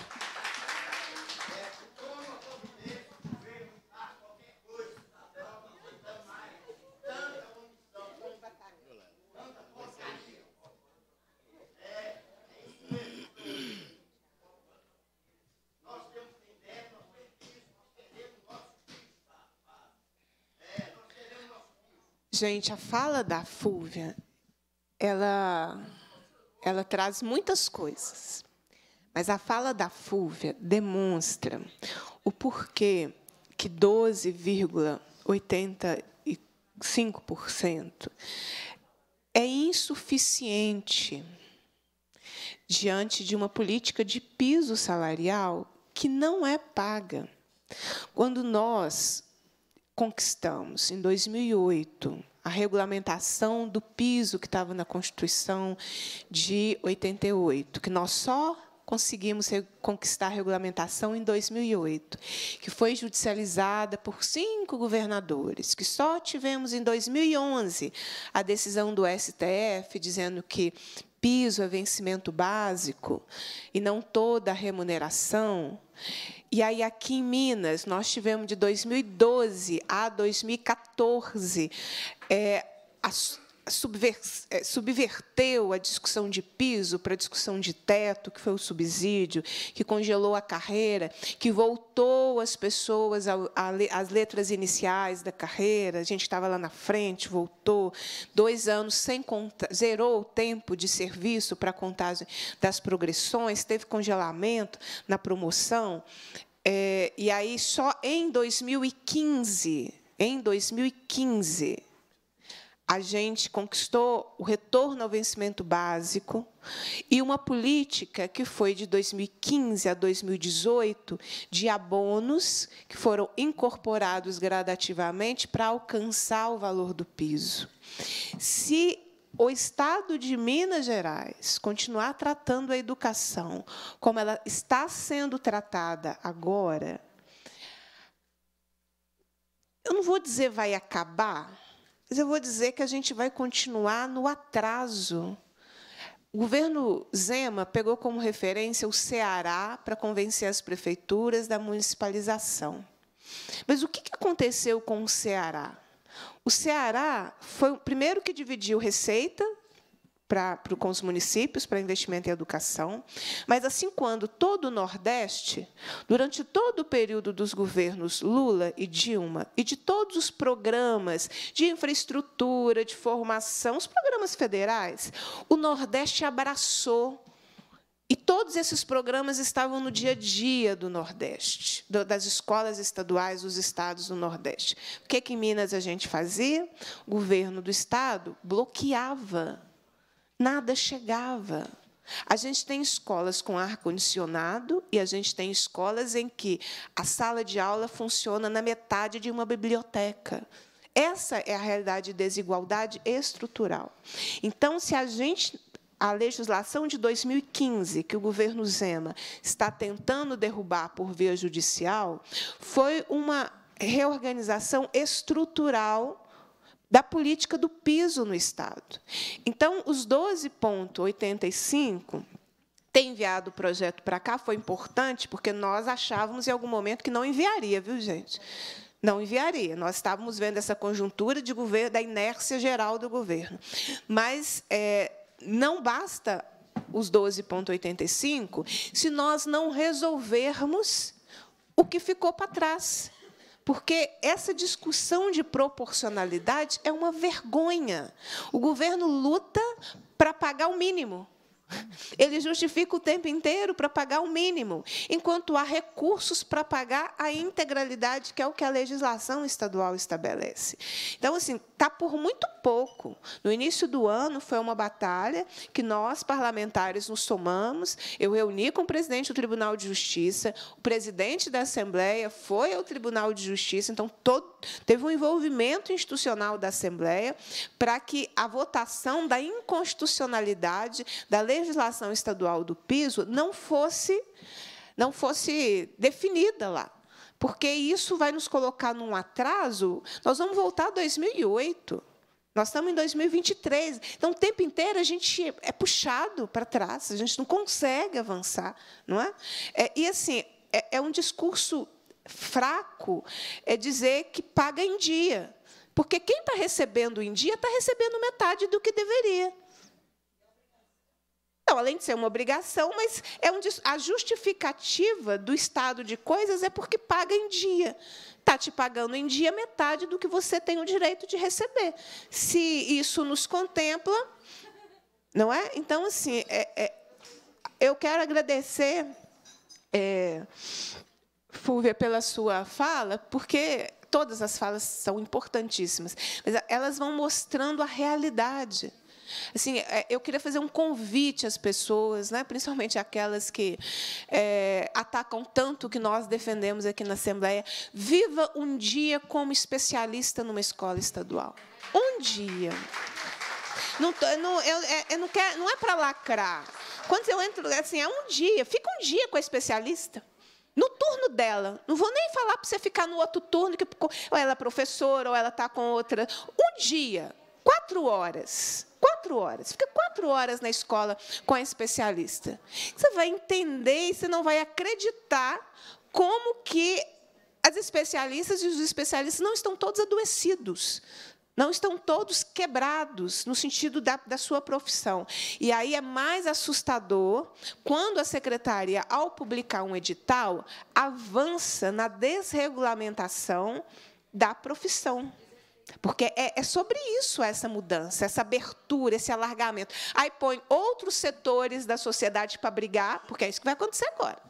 Daqui a pouco, quem quer esse concurso com essa formação vai começar a brigar por ele.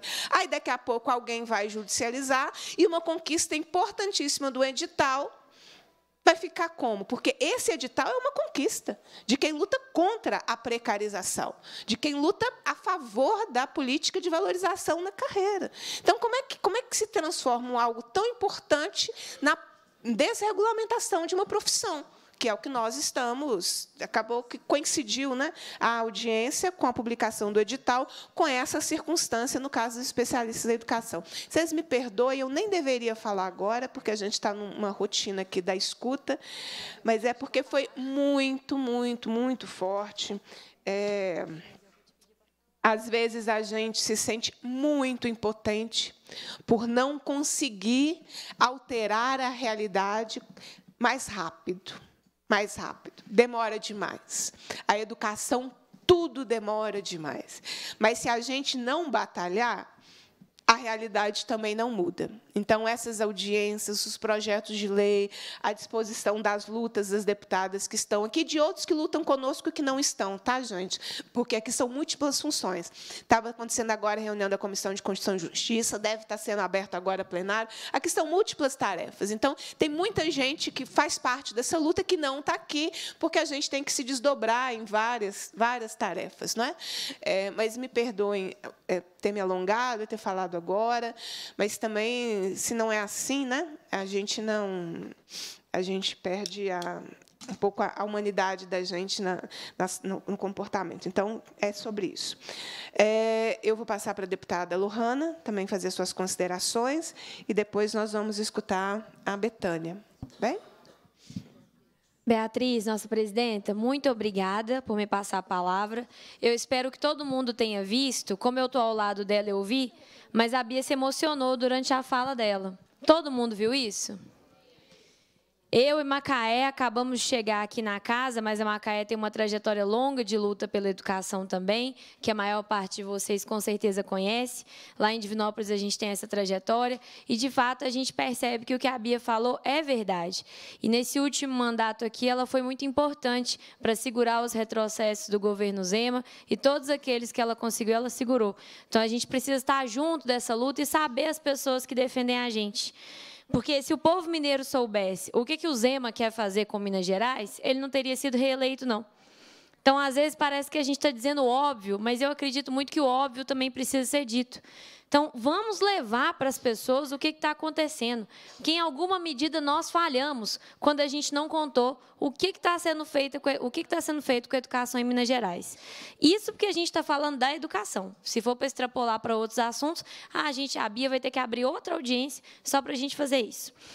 Eu também queria pedir desculpa por fazer minha fala agora, gente. Eu sempre prefiro escutar todo mundo antes de falar.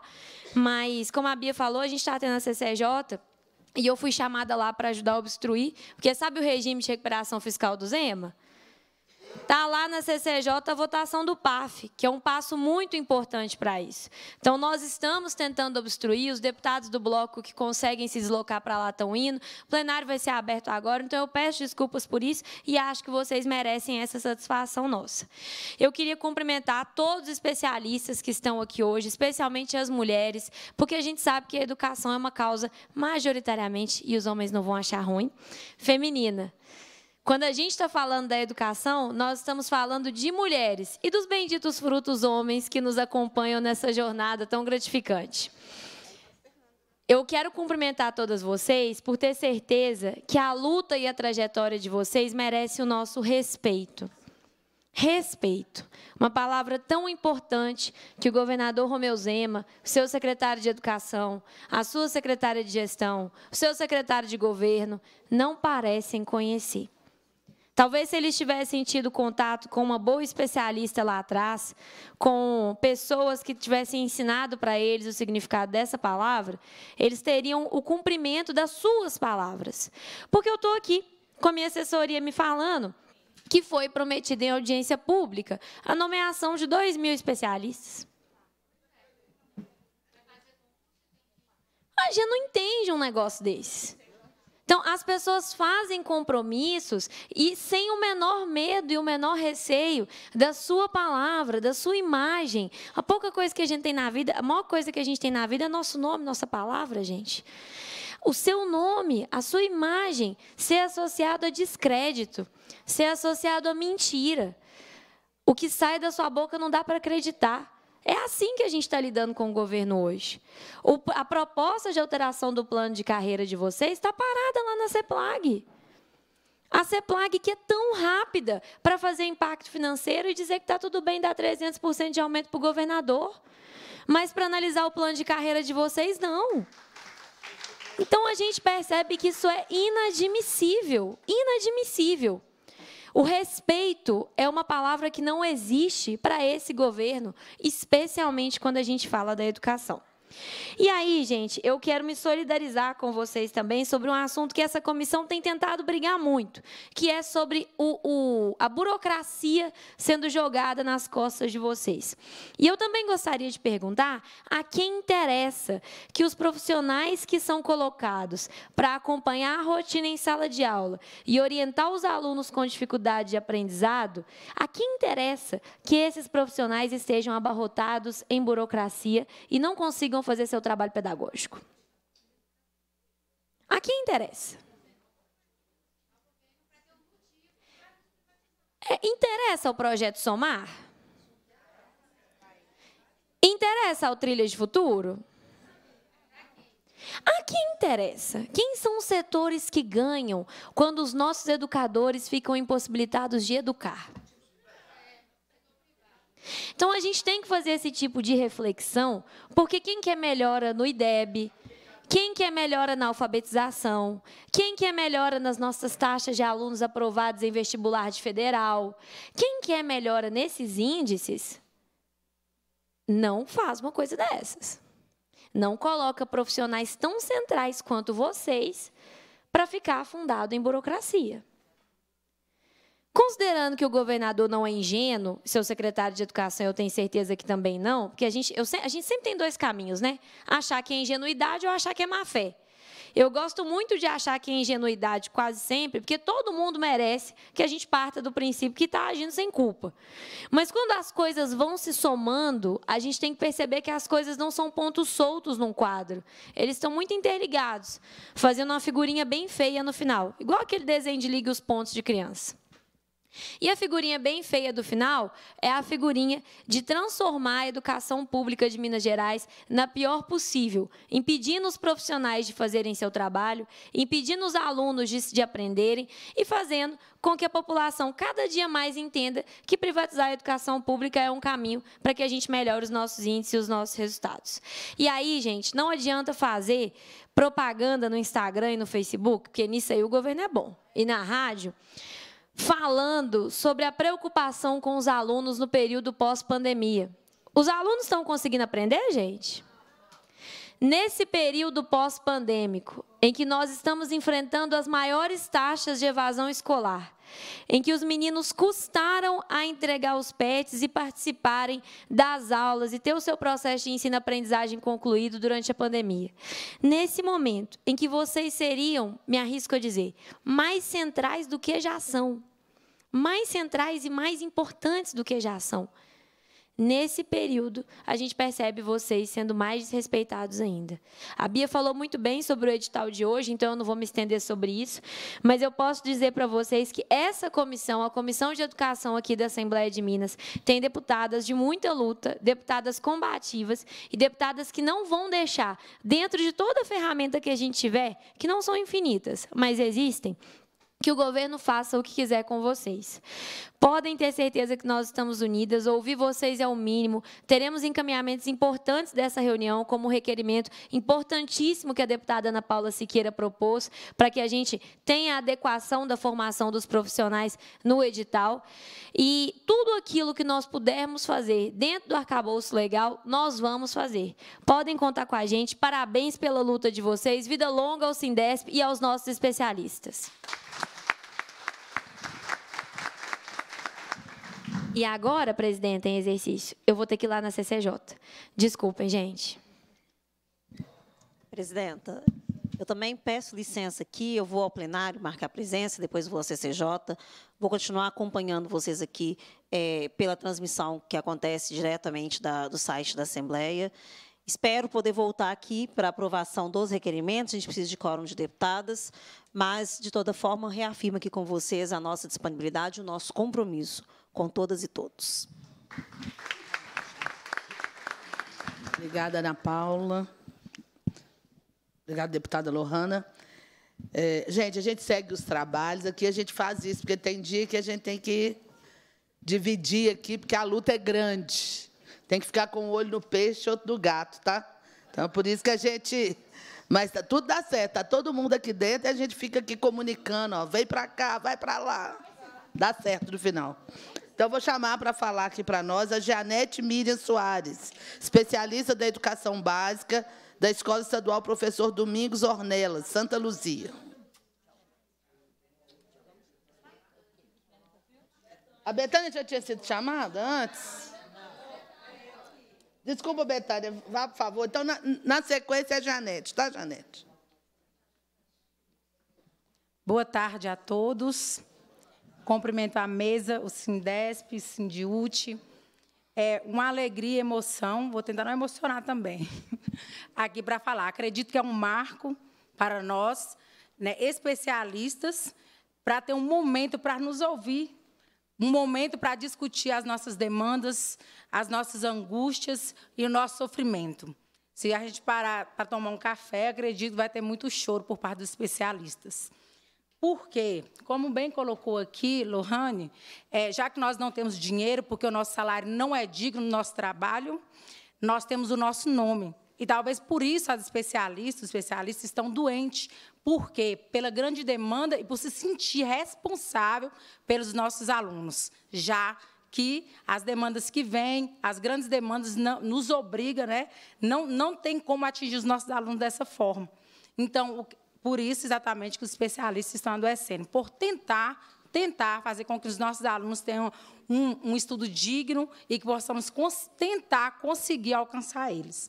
Dentro dessas outras demandas, é, uma delas também que tem nos, nos causou angústia foi ter um reforço onde nós, especialistas, temos que também é, cuidar de turmas fora do nosso turno, sendo que temos 4 horas e 48, 24 horas semanais, porém estamos trabalhando praticamente 24 horas por dia e não 24 horas semanais, como está previsto na, previsto na legislação. E uma das coisas também que nos adoece por nos sentir responsáveis pelo nosso trabalho.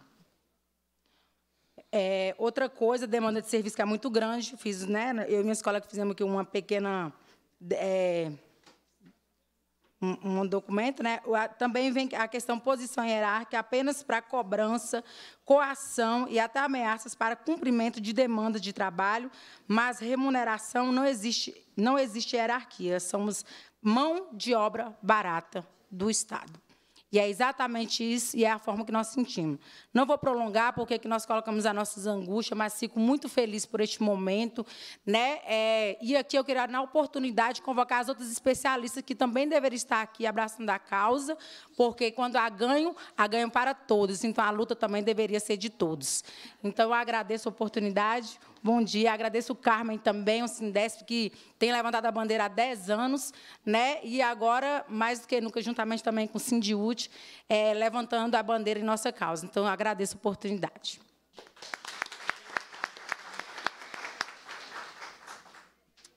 Janete.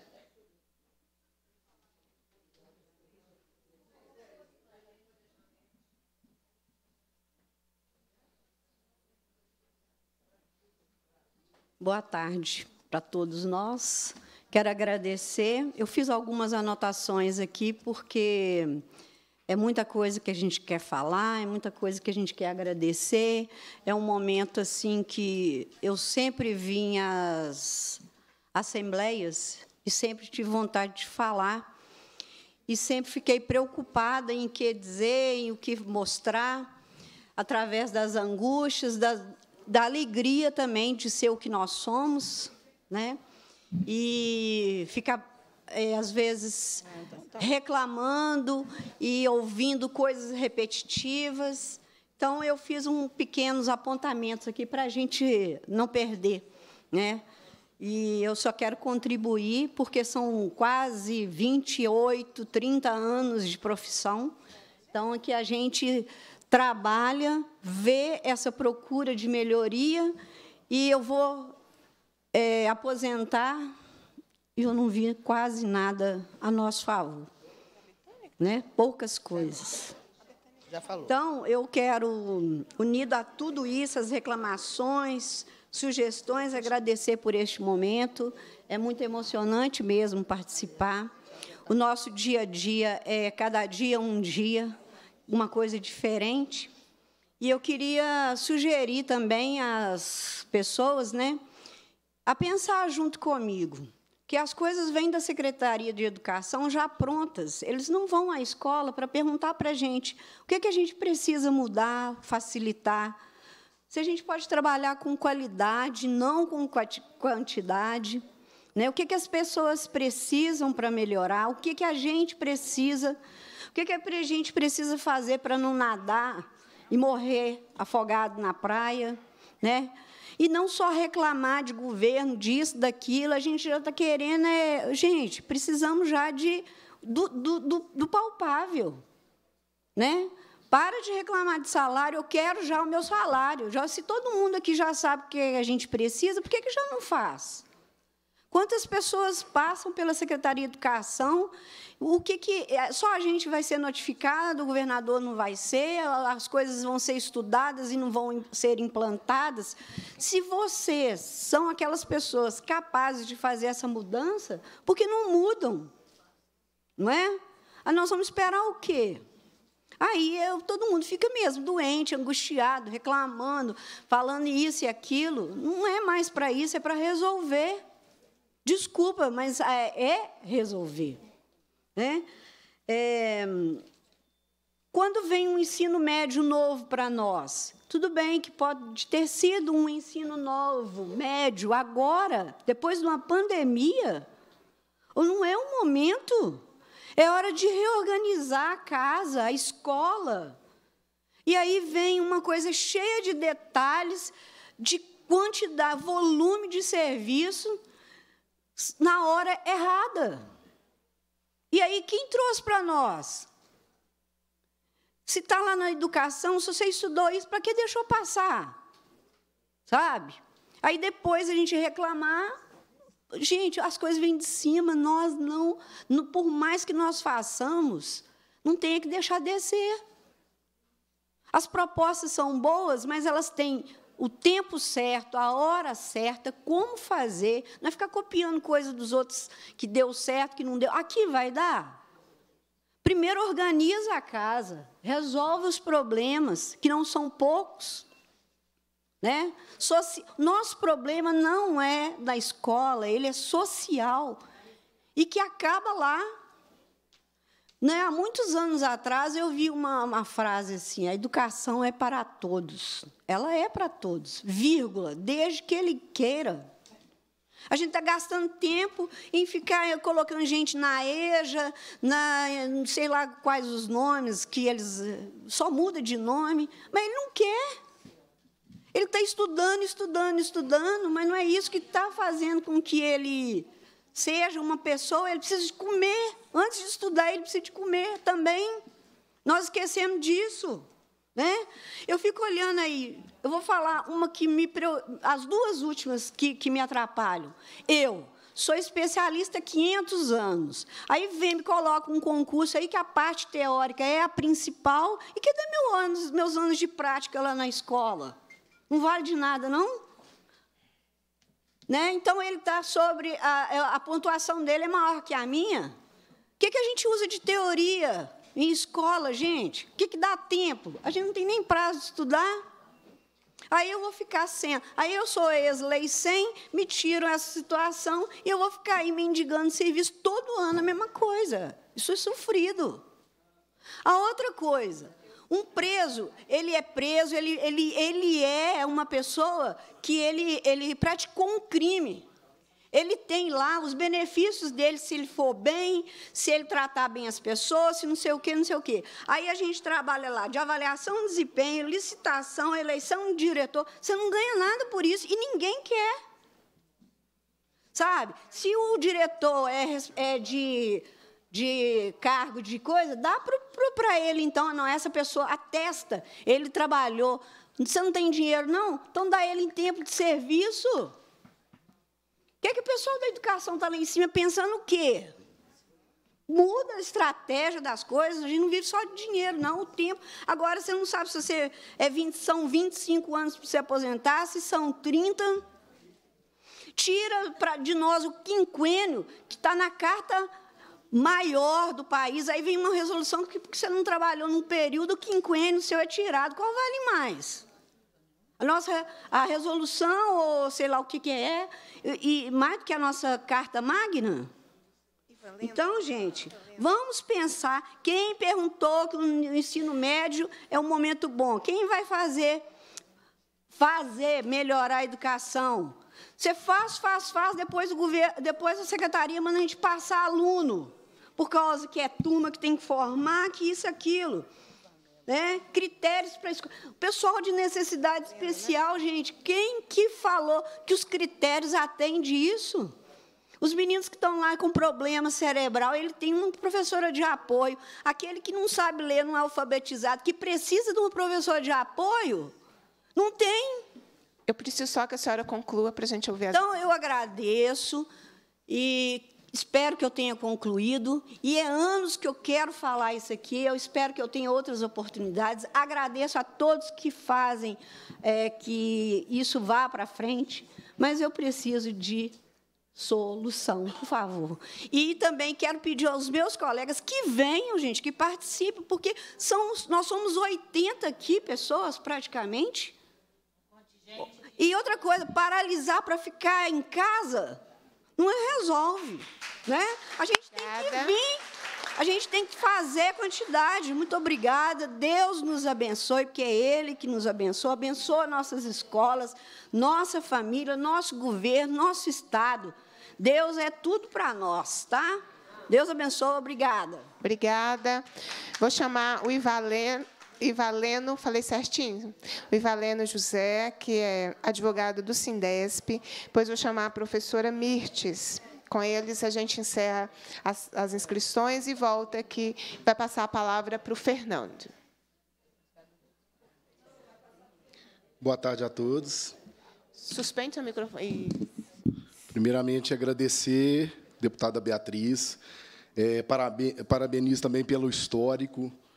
É, deputadas é, Macaé, deputada Lohana, que também que no, é, no, no, nos representou muito bem deputada Ana Paula Siqueira, que está ausente, mas também é uma, uma guerreira que está sempre do nosso lado, como a deputada presidente mesmo mencionou. Meu nome é Ivarleno, eu sou, eu sou, eu sou advogado do Sindesp há três anos.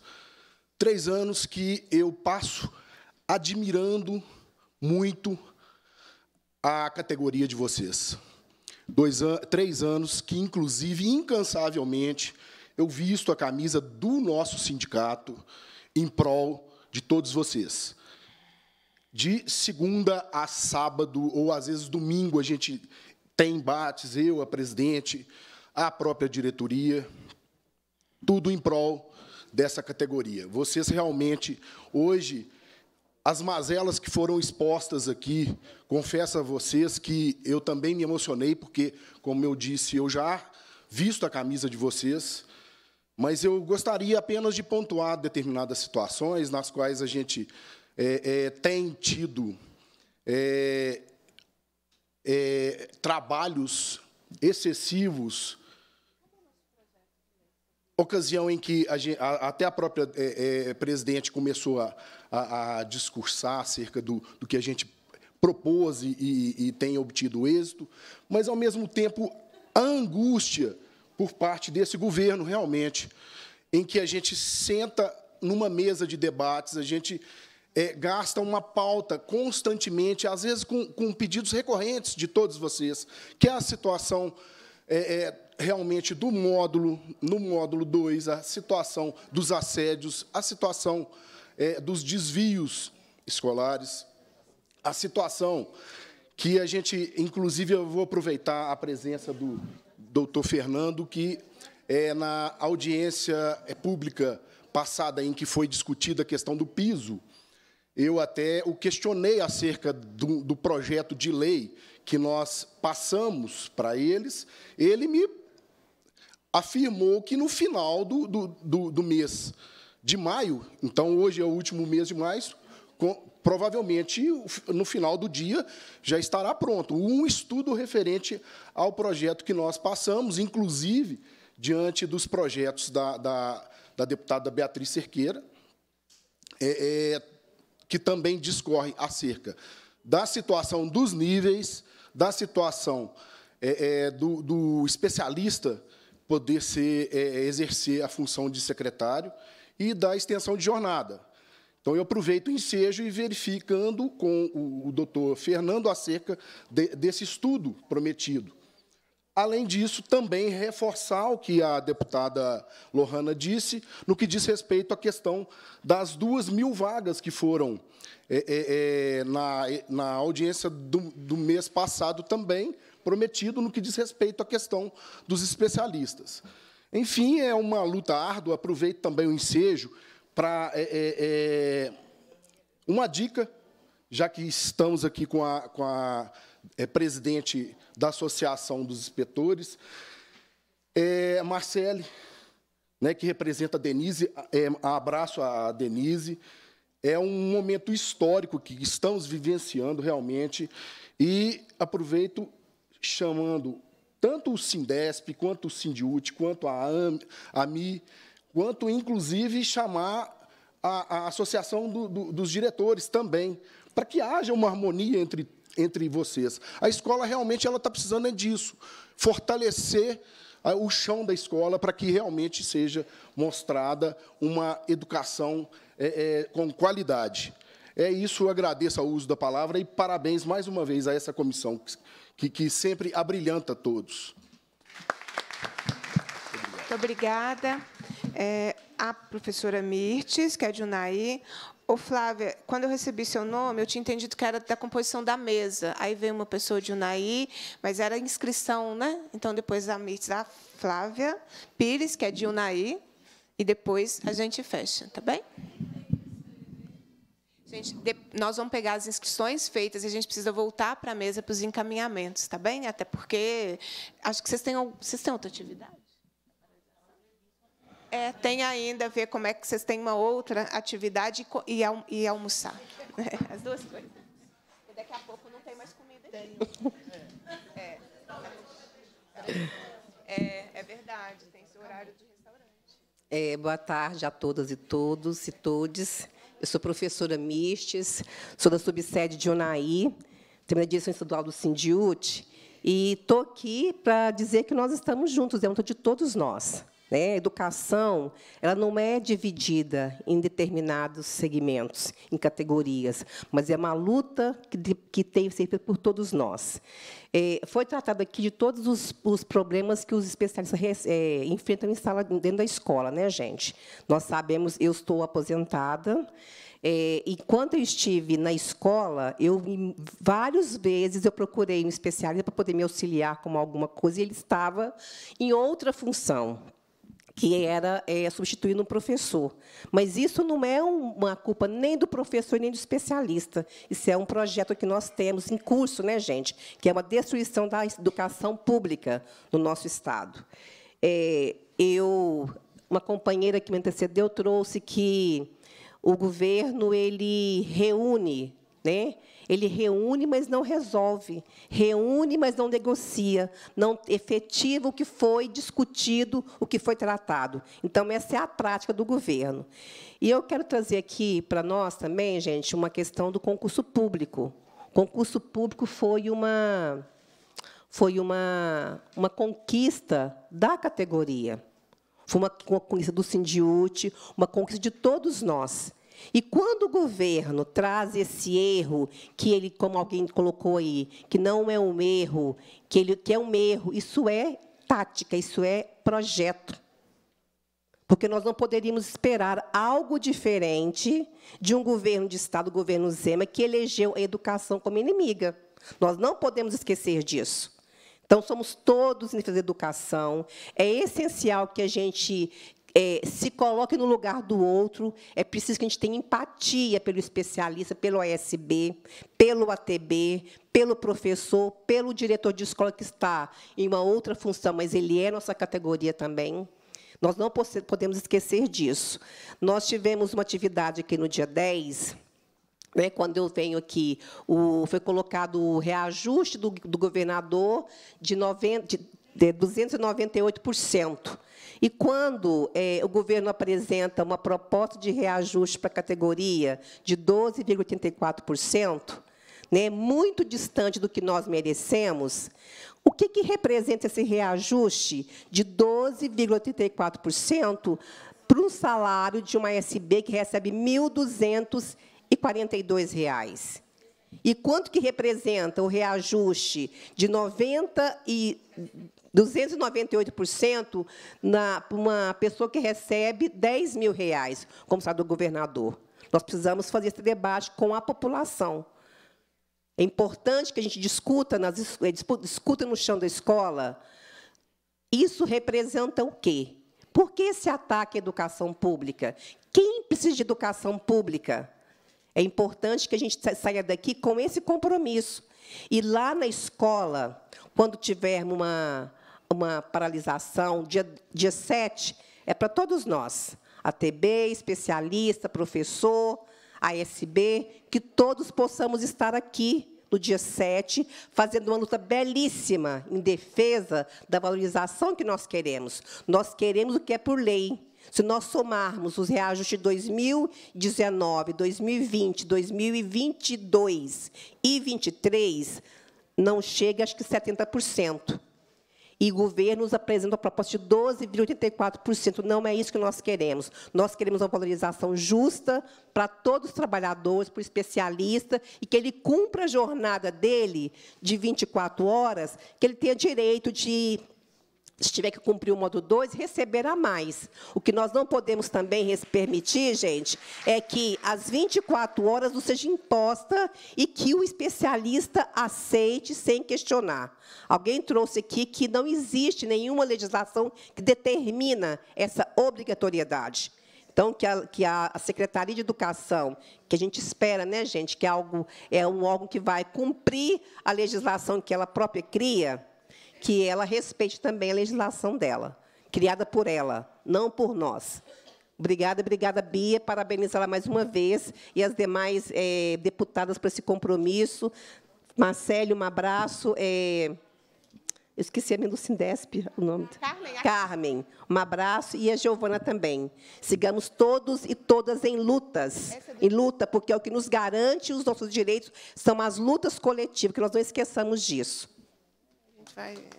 Obrigada, Mirtes. Aproveitar deixar um abraço para a Denise e também desejar pronta recuperação. É, nós vamos ouvir a Flávia. Cadê a Flávia? Estou aqui. Flávia. Depois a Estou Flávia, aqui para tirar o pé do almoço de vocês, viu? Não, tudo bem. Tudo bem. Vamos. Primeiro, eu já quero, antes, já pedir desculpa se eu me enrolar, se eu trupicar nas palavras, tá? Eu estou acostumada a falar com pais, muitos, com alunos, com professores. Não estou acostumada a falar com pessoas assim, né? E com as deputadas, que orgulho, viu? Beatriz, eu sou sua fã, te sigo no Instagram. Põe lá depois um. Ok. Eu vim, é, eu vim trazer para esse momento um olhar diferente. Porque eu vou falar da minha formação bem rapidinho, só para alertar o governo que nós, especialistas, estamos em constante capacitação. Minha primeira formação foi educação física, eu fui bolsista ProUni. Na cidade de Unai, eu tenho, eu tenho orgulho de dizer isso. Eu fui a primeira bolsista 100% no, quando surgiu o ProUni, e Unai eu fui a primeira, e eu tenho muito orgulho de dizer isso. Eu chegava na faculdade, muitas vezes, com a barra da calça suja de, de lama, porque eu pegava, eu sou de baixa renda. Eu moro ainda num bairro de casas populares. E eu tenho orgulho de dizer isso, não é vergonha. E quando eu consegui a minha formação, eu não parei. Eu fiz pedagogia. E eu não parei. Eu fiz supervisão escolar, especialização e orientação. E eu não parei. E eu estou fazendo psicologia, eu me formo ano que vem. Mas eu estou estudando psicologia, não é pagando com o meu salário, porque meu salário é pouco. Meu salário não me dá a chance de pagar meu curso superior. A faculdade de psicologia é uma das mais caras. São cinco anos de estudo e cinco anos de estágio. Eu só posso ter um cargo no Estado. Eu só trabalho de especialista à tarde. De manhã eu faço estágio e à noite eu vou para a faculdade. Eu saio de casa cedo e eu chego em casa 11 horas da noite, com orgulho. A minha mãe me ajuda a pagar a minha faculdade. Eu tive que recorrer à minha mãe, que é aposentada no Distrito Federal, e eu tenho orgulho de dizer também que a minha mãe é aposentada no GDF, da Câmara Legislativa. Tenho orgulho, a gente tem que ter orgulho do que é. E estando na escola, essa algumas semanas atrás, eu recebi um documento e, e, esse é o motivo de eu estar aqui hoje, e esse é o motivo de eu querer falar hoje. Porque esse governo, ele quer nos desmoralizar, me desmoralizar. Porque o governo mandou uma cartilha e eu fui convocada para passar essa cartilha de 30. Primeiro era um documento de 32 páginas. A cartilha são 12. Eu optei pela cartilha. Porque a cartilha faz o resumo do documento de 32 páginas e no módulo, vocês sabem bem, não dá para a gente ficar só numa cartilha. E eu fui procurada pela direção que me pediu. Eu acho que ela viu que era constrangedor e ela me pediu. E eu não estou acusando porque ela é minha amiga. E a gente que está dentro da escola, só vou fazer uma ressalva, a gente está no meio de tudo. A gente leva as reivindicações dos alunos para os professores e para a direção, a gente leva a reivindicação dos professores para a direção e ninguém nos ouve a nossa reivindicação. A gente está no meio de tudo. A verdade é essa. E aí eu estou falando da, da minha verdade, que eu acredito que seja a verdade de vocês também. Então, quando eu li a cartilha, eu me senti constrangida. E eu fui para o módulo e eu pedi desculpa para os meus professores. Antes de passar a cartilha, de botar no data show, eu pedi desculpa. Eu falei para os professores assim, eu falei, olha, eu peço desculpa, eu vou passar essa cartilha para vocês e nós vamos estudá-las, porque faz parte da minha incumbência, porque muitas coisas que vêm para a escola nós passamos por obrigação, e a colega aqui falou so sobre isso, nós somos obrigados a fazer aquilo que nos manda, nós não temos autonomia. O governo manda projetos e projetos, e agora tem o tal do PRA. Já ouviram falar do PRA, né? Esse PRA convocou professores e especialistas sem nenhuma remuneração a mais, sem nenhum adicional. O profissional tem que viajar. Eu fui convidada para fazer parte disso. Eu pensei, nossa, que benefício que vai vir. Então, reconhecendo. Não, não tem nenhum benefício a mais. E você tem que viajar. Eles vão pagar minha hora extra de viagem? E o meu estudo? Porque eu tenho que estar em capacitação. Eles... Aí eu disse, não. o edital ficou vários dias, tá? e está só prorrogando. Já tem quase um mês e ninguém quer. Porque o governo, ele quer nos dar migalhas. Eles estão pensando que a gente é besta. Desculpa eu falar, a gente é, mas é para baixar mesmo. Eles estão pensando que a gente é. Tipo assim, baixar nosso nível. Eles não estão conscientes de que nós sabemos, e eu estou aqui para dar esse alerta sobre essa desmoralização, que é o seguinte. Antes disso, eu vou dar para vocês um dado, porque eu pesquisei. E aí vocês só me ouçam, eu, não vou eu quero tirar o pé do almoço, é bem rapidinho. Eu só preciso fazer uma introdução para que vocês entendam onde eu quero chegar. É, vocês viram na escola que nós fomos convocados para trabalhar um Maio Laranja. O Maio Laranja fala sobre educação do trânsito. Vocês receberam cartilha para trabalhar o Maio, o Maio Amarelo, isso. Mas o Maio Laranja não veio. Vocês receberam? Não. Recebi. E eu fiquei me questionando, porque assim, agora eu ainda me questiono mais ainda. E quando a gente estuda, a gente fica mais questionador. E é por isso que o governo não nos quer. E não quer que os nossos filhos e a população estude. Porque quando a gente estuda, a gente fica mais crítico. E eu fui prestar atenção nisso. Os dados de abuso e violência contra crianças e adolescentes aumentou 70% de 2021 para 2022, nós estamos no dado de aumento de 70%. Sobre assédio de profissionais da educação contra adolescentes e crianças no âmbito escolar, eu não achei índice, não tem pesquisa, porque o número de professores que assediam, professoras que assediam alunos, é tão irrisório que ele não entra nem na estatística. Eu não estou aqui falando que não aconteça. Os pedófilos estão inseridos em todo lugar. Todo lugar nós temos esse tipo de pessoa. Mas eu estou dizendo que o governo não mandou uma cartilha. A cartilha, ó, a, a cartilha que ele deveria ter mandado para nós. Como identificar que uma criança ou adolescente está sofrendo algum tipo de abuso ou violência sexual? Eu tenho até o nome da cartilha que o governo devia ter mandado para nós para nos capacitar para trabalhar em sala de aula, e eu teria o maior prazer, porque na psicologia a gente está fazendo um trabalho, tem um trabalho de extensão com o NAI, que a gente fala sobre isso. E eu estou indo nas escolas, nas escolas falar sobre isso, é um projeto de extensão da faculdade. A faculdade que eu estou fazendo de psicologia tem um projeto de extensão trabalhando isso nas escolas. O governo não mandou uma cartilha para trabalhar sobre violência sexual das crianças que sofrem. Mas o governo mandou uma cartilha e eu estou, desculpa com a palavra, mas eu estou pé, para não dizer outro nome, da vida com isso. Porque essa cartilha, ela, eu tenho o nome da cartilha, vocês devem saber aí, mas eu quero falar, porque às vezes alguém vai nos ouvir por aí na vida e essa pessoa tem que saber. Olha o nome da cartilha: 12 páginas. Enfrentamento ao assédio sexual nas escolas estaduais de Minas Gerais. Aí eu fui pensar. Por que a gente tem que ser crítico? Por que, que o governo não trabalha conosco o, o que as crianças estão passando e nos, não nos capacita e não quer dialogar sobre isso, mas quer dialogar sobre o assédio do professor contra o aluno? Aí eu cheguei na conclusão real e é por isso que hoje eu quis fazer questão de estar aqui. Esse governo ele quer nos desmoralizar de toda forma. Ele quer até nos convencer, de alguma forma, de que nós fazemos isso. Eu não vou dizer que isso não aconteça, mas é o que eu disse para vocês: nem índice não tem. 84% das crianças que são abusadas são dentro de casa. Se 84% das crianças são abusadas em casa, quantas são abusadas na escola? Ou seja, o governo deveria estar preocupado de estar trabalhando dentro da escola as questões relevantes e não fazer com que eu, especialista, tenha que trazer isso para os meus professores e eu me sentir envergonhada e eu pedir desculpa para os meus professores de falar sobre isso. Então, eu quis trazer isso para vocês, no sentido de que o governo quer desmo nos desmoralizar, no fundo, até mesmo da nossa moral. Obrigada.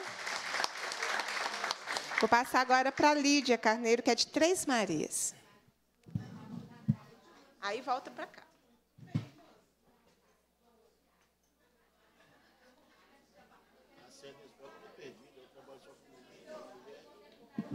Bom dia. É com muita satisfação que eu estou aqui hoje, representando a cidade de Três Marias. É, quero aproveitar para dizer que a nossa cidade agora, nós estamos cada vez mais atuantes é, na causa. Eu, na verdade, sou de Paracatu, mas agora estou em Três Marias, estamos movimentando lá mais. É, Ontem nós fizemos uma reunião e eu estou aqui representando é, várias profissionais da área. É, que não puderam estar aqui. E, inclusive, nós fizemos algumas, é, algumas pontuações. Ah, vamos ver o que é que nós vamos falar. E essas pontuações já foram faladas em quase na sua totalidade. Né? É, só que na nossa reunião de ontem, nós é, pontuamos algumas situações. O que, que leva a parecer sobre a nossa situação com o atual governo? Parece que o atual governador ele colocou na cabeça dele que nós somos funcionários da rede de lojas dele. Não é? É. O que parece é que nós somos funcionários dele e que nós e ele tem que nos pagar pouco e a gente tem que render muito. É tão vergonhoso. Eu tenho vergonha das famílias, eu tenho vergonha dos alunos, eu tenho vergonha dos professores, é, e a gente não sabe o que faz. Dizem que a, que a, nossa, a nossa categoria é o coração da escola, mas estão acabando com o coração da escola. Eles estão pisoteando, bem falado. Né? Então, assim, é, o que vai acontecer daqui por diante? Como vai ficar a situação? E isso não só a nossa, mas de todos os profissionais da educação. A gente não pode deixar. Reelegeram esse cara agora, recente, eu não sei como fizeram isso. Mas sabe o que, que acontece? O marketing dele é tão bom né? Vive de Twitter, vive de Facebook, vive de Instagram. E aí vai colocando na cabeça das pessoas que nós estamos num governo perfeito e nós não estamos. Né? A situação de valorização dos profissionais é péssima. E, e eu falo que tem profissional de, é, profissionais de outros estados que acham que nós vivemos o paraíso. Quando eu conto, todo mundo fica escandalizado. Então, assim, até onde vai isso? Né? Nos respeite, nos respeite. Não somos funcionários da Eletrozema. Nós somos servidores do Estado de Minas Gerais. Esse governador, se Deus quiser, logo ele está longe. Precisava ser, ter acontecido isso antes. Nós precisamos retomar o serviço no Estado. Então, nós temos um público para atender.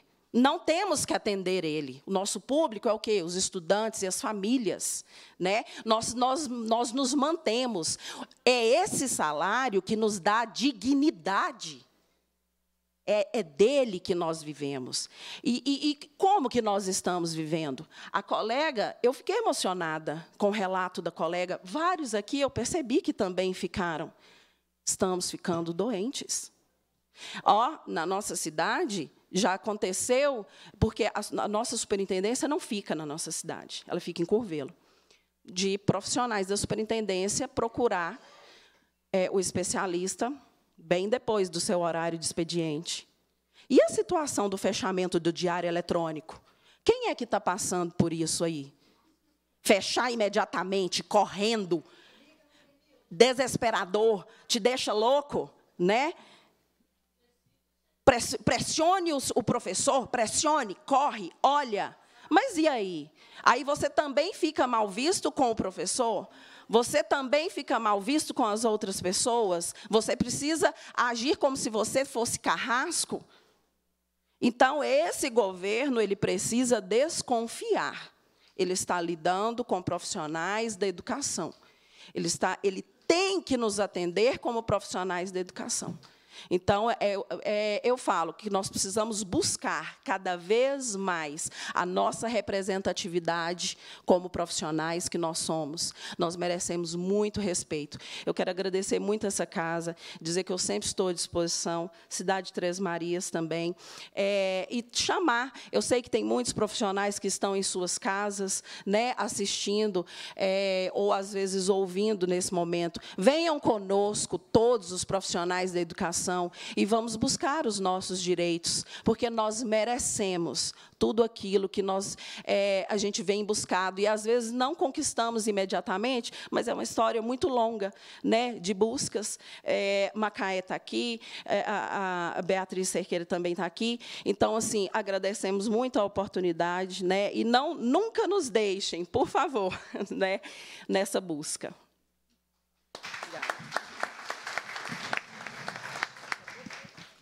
Não deixaremos. Nós vamos voltar para a mesa. Antes, é, eu queria era dizer é, a situação da tramitação de algumas proposições que estão na Assembleia que dizem respeito às discussões tratadas aqui. Porque, Fernando, a gente consegue avançar várias questões. Não é? Então, é só ter um esforço, é, um esforço político, uma decisão e um esforço político. Não é? O governo Zema precisava, na leitura dele, de cargos comissionados. Aí ele vai argumentar que não pode criar cargos porque está no limite da lei de responsabilidade fiscal, etc. Então, o que, que o governo Zema fez? Fez uma revisão dos cargos, olhou para a FUCAM, que foi o que aconteceu, e disse: olha, na FUCAM tem os cargos que me interessam para a minha estrutura de governo. É, é claro que nós lutamos e a FUCAM permaneceu e alguns dos cargos permaneceram na FUCAM, é, mas o que eu quero citar como um exemplo, que não é, foi um exemplo ruim, mas que nós podemos transformá-lo num bom exemplo, que você olha a estrutura do Estado, você consegue ver o que é possível propor sempre é possível propor saídas alternativas né, para ir avançando e resolvendo os problemas e não dando uma resposta genérica de, é, dos problemas que hoje impossibilitam resolver outros problemas. E aí nisso a gente não consegue ter respostas, a gente só fica fazendo só no diagnóstico dos problemas. Então, olha só, é uma questão que é do tempo do especialista de estudo e planejamento. O especialista da educação básica é uma carreira do magistério. Como uma carreira do magistério, então, é plenamente possível reconhecer é, um terço da sua jornada para estudo e planejamento. Então, esse é um, um ponto é, importante. Não é? Ah, mas a lei, não posso fazer projeto de lei. Faça uma resolução não é? Tem tantas resoluções, faça uma reorientação interna do tempo da jornada desse profissional até que possamos avançar com a legislação. Eu não sei por que, que não pode avançar com a legislação, porque não há impacto financeiro. Não há um impacto financeiro que justifique que não possa ter alteração agora. É uma, é uma organização interna. Olha, a jornada de trabalho do especialista, um terço dela passará a ser dedicada a estudo e planejamento. Esse projeto está aqui na Assembleia. Pode, ah, não podemos fazer sem previsão legislativa. Então, a gente tem o projeto, que é o 2678 de 2021. Ele é de minha autoria, ele está na Comissão de Constituição e Justiça. Depois de lá, ele passará pela Comissão de Educação e pela Comissão de Administração Pública. É o projeto, então, 2678 de 2021. O projeto 2000 677 de 2021 da extensão. A extensão é um mecanismo temporário, não para cargo vago. Não para substituir a contratação, no caso, a convocação temporária, mas para situações muito específicas. Você tem um projeto em desenvolvimento, você precisa de um especialista, que é uma jornada, inclusive, menor de que 24 horas, então são algumas horas a mais, várias situações de acúmulo de funções e articulação de projetos que estão acontecendo, extrapolando a jornada de trabalho do especialista, da especialista. Você poderia resolver com situações específicas. A extensão ela não, não pode nem ser usada é para burlar concurso público, encargo vago, e nem a contratação do, do, do, da jornada completa. Mas são possibilidades que a gestão, tendo, pode avançar em, que, em situações muito específicas de projeto. Esse projeto de lei é de minha autoria, está na Comissão de Constituição e Justiça, depois passará pela Educação e pela Administração Pública. É o projeto de lei 2677 de 2021 o projeto de lei 1432 de 2020, que é sobre a certificação. Vou contar rapidinho a história da certificação. Carreira da educação, da, da, a carreira dos, dos, professores, das professoras, começava no magistério, você se lembra? Primeiro nível, nível médio, segundo nível, licenciatura curta, terceiro nível, licenciatura plena. No subsídio, o nível médio de escolaridade foi retirado sem nenhuma negociação. Ficaram, ficou a licenciatura curta. Começou, então, a partir da licenciatura curta. Quando nós fizemos um processo, isso é negociação. A negociação, os dois lados saem do lugar e vão chegar num denominador comum. Quando você impõe alguma coisa, aí não é negociação, aí é outra coisa. Mas cada um sai do seu lugar. Né? Então, olha só, quando nós chegamos em 2015, que foi uma negociação estruturante para a educação, o que, é que nós conquistamos? O fim do subsídio, voltamos ao vencimento básico. Uma política do piso salarial, que financeiramente se dividiu em três abonos, que foram todos pagos, posteriormente incorporados. Né? Na aprovação da legislação já previa tudo isso. É, e algumas outras questões de, de correções pontuais de carreira. É, e como nós é, estávamos é, com uma carreira já com um nível de escolaridade que não, não existia, né, ou estava no seu final, é, a carreira da educação passaria a começar pela licenciatura plena. Isso foi uma negociação, gente. Nego... Começava pela licenciatura plena, porque nós estávamos conquistando o piso integral para 24 horas, estávamos conquistando uma política para se chegar ao valor do piso, que vinha por abonos, com incorporações. Foi um processo. Você precisa ver o todo, não é? Porque senão você vai lutando e arrancando pontualmente uma questão ou outra, mas foi uma negociação estrutural. Não é? É, então, começaria na licenciatura plena, mas que haveria uma compensação no caso, estou falando da carreira do professor, é, por começar na licenciatura plena, uma compensação que era mais um nível na, na, na carreira. Porque nós perdemos os níveis de 22% na carreira com o subsídio lá em 2012. Quando teve o subsídio, nós não perdemos só, só que já é muita coisa, o que vem além do vencimento básico. Nós perdemos na carreira. A carreira era de, que foi imposto que foi imposto, né, uma votação vergonhosa aqui na Assembleia Legislativa, inclusive, que foi votado. É, as carreiras eram de 22%, vocês se lembram? Que foi o plano de carreira de 2005. Eles, eles, vão, eles vão empurrando a gente para trás. Né? O subsídio foi isso. Então, eram de 22%, e as promoções de 3%. O subsídio, além de tu, toda a tragédia que nos trouxe, também empurrou para as promoções de 10% e 2,5% nas progressões. Então, nós acrescentamos ali, naquele momento, nas negociações em 2015, 10% na carreira. E aí, se nós estamos falando de uma carreira do magistério, de fato, ficou de fora ou outra carreira do magistério do especialista. Então, a questão da certificação é uma correção entre as, as carreiras do magistério. Eu tenho um projeto de lei sobre isso, que é o 1432 de 2020, que, da mesma forma, está lá na Comissão de Constituição e Justiça. Ah, não pode ser de iniciativa do deputado? Só encaminhar o projeto de lei para a Assembleia que tudo se resolve. Aliás, inclusive, inclusive, se resolve muito rapidamente quando a iniciativa do projeto de lei é do governo do Estado. E a gente tem a PEC 08 de 2023, porque nós começamos a pesquisar e já encontramos outros estados que permitem, constitucionalmente, o acúmulo de cargos. Não está tirando o direito de ninguém, não está inviabilizando o direito de outra pessoa, mas é assim como o professor tem o direito constitucional do acúmulo, de ter dois cargos, é, dar a esse direito também a, aos pedagogos e, a, e as carreiras de natureza pedagógica que nas redes municipais podem ter esse nome. Não gostaria de ter apresentado essa PEC.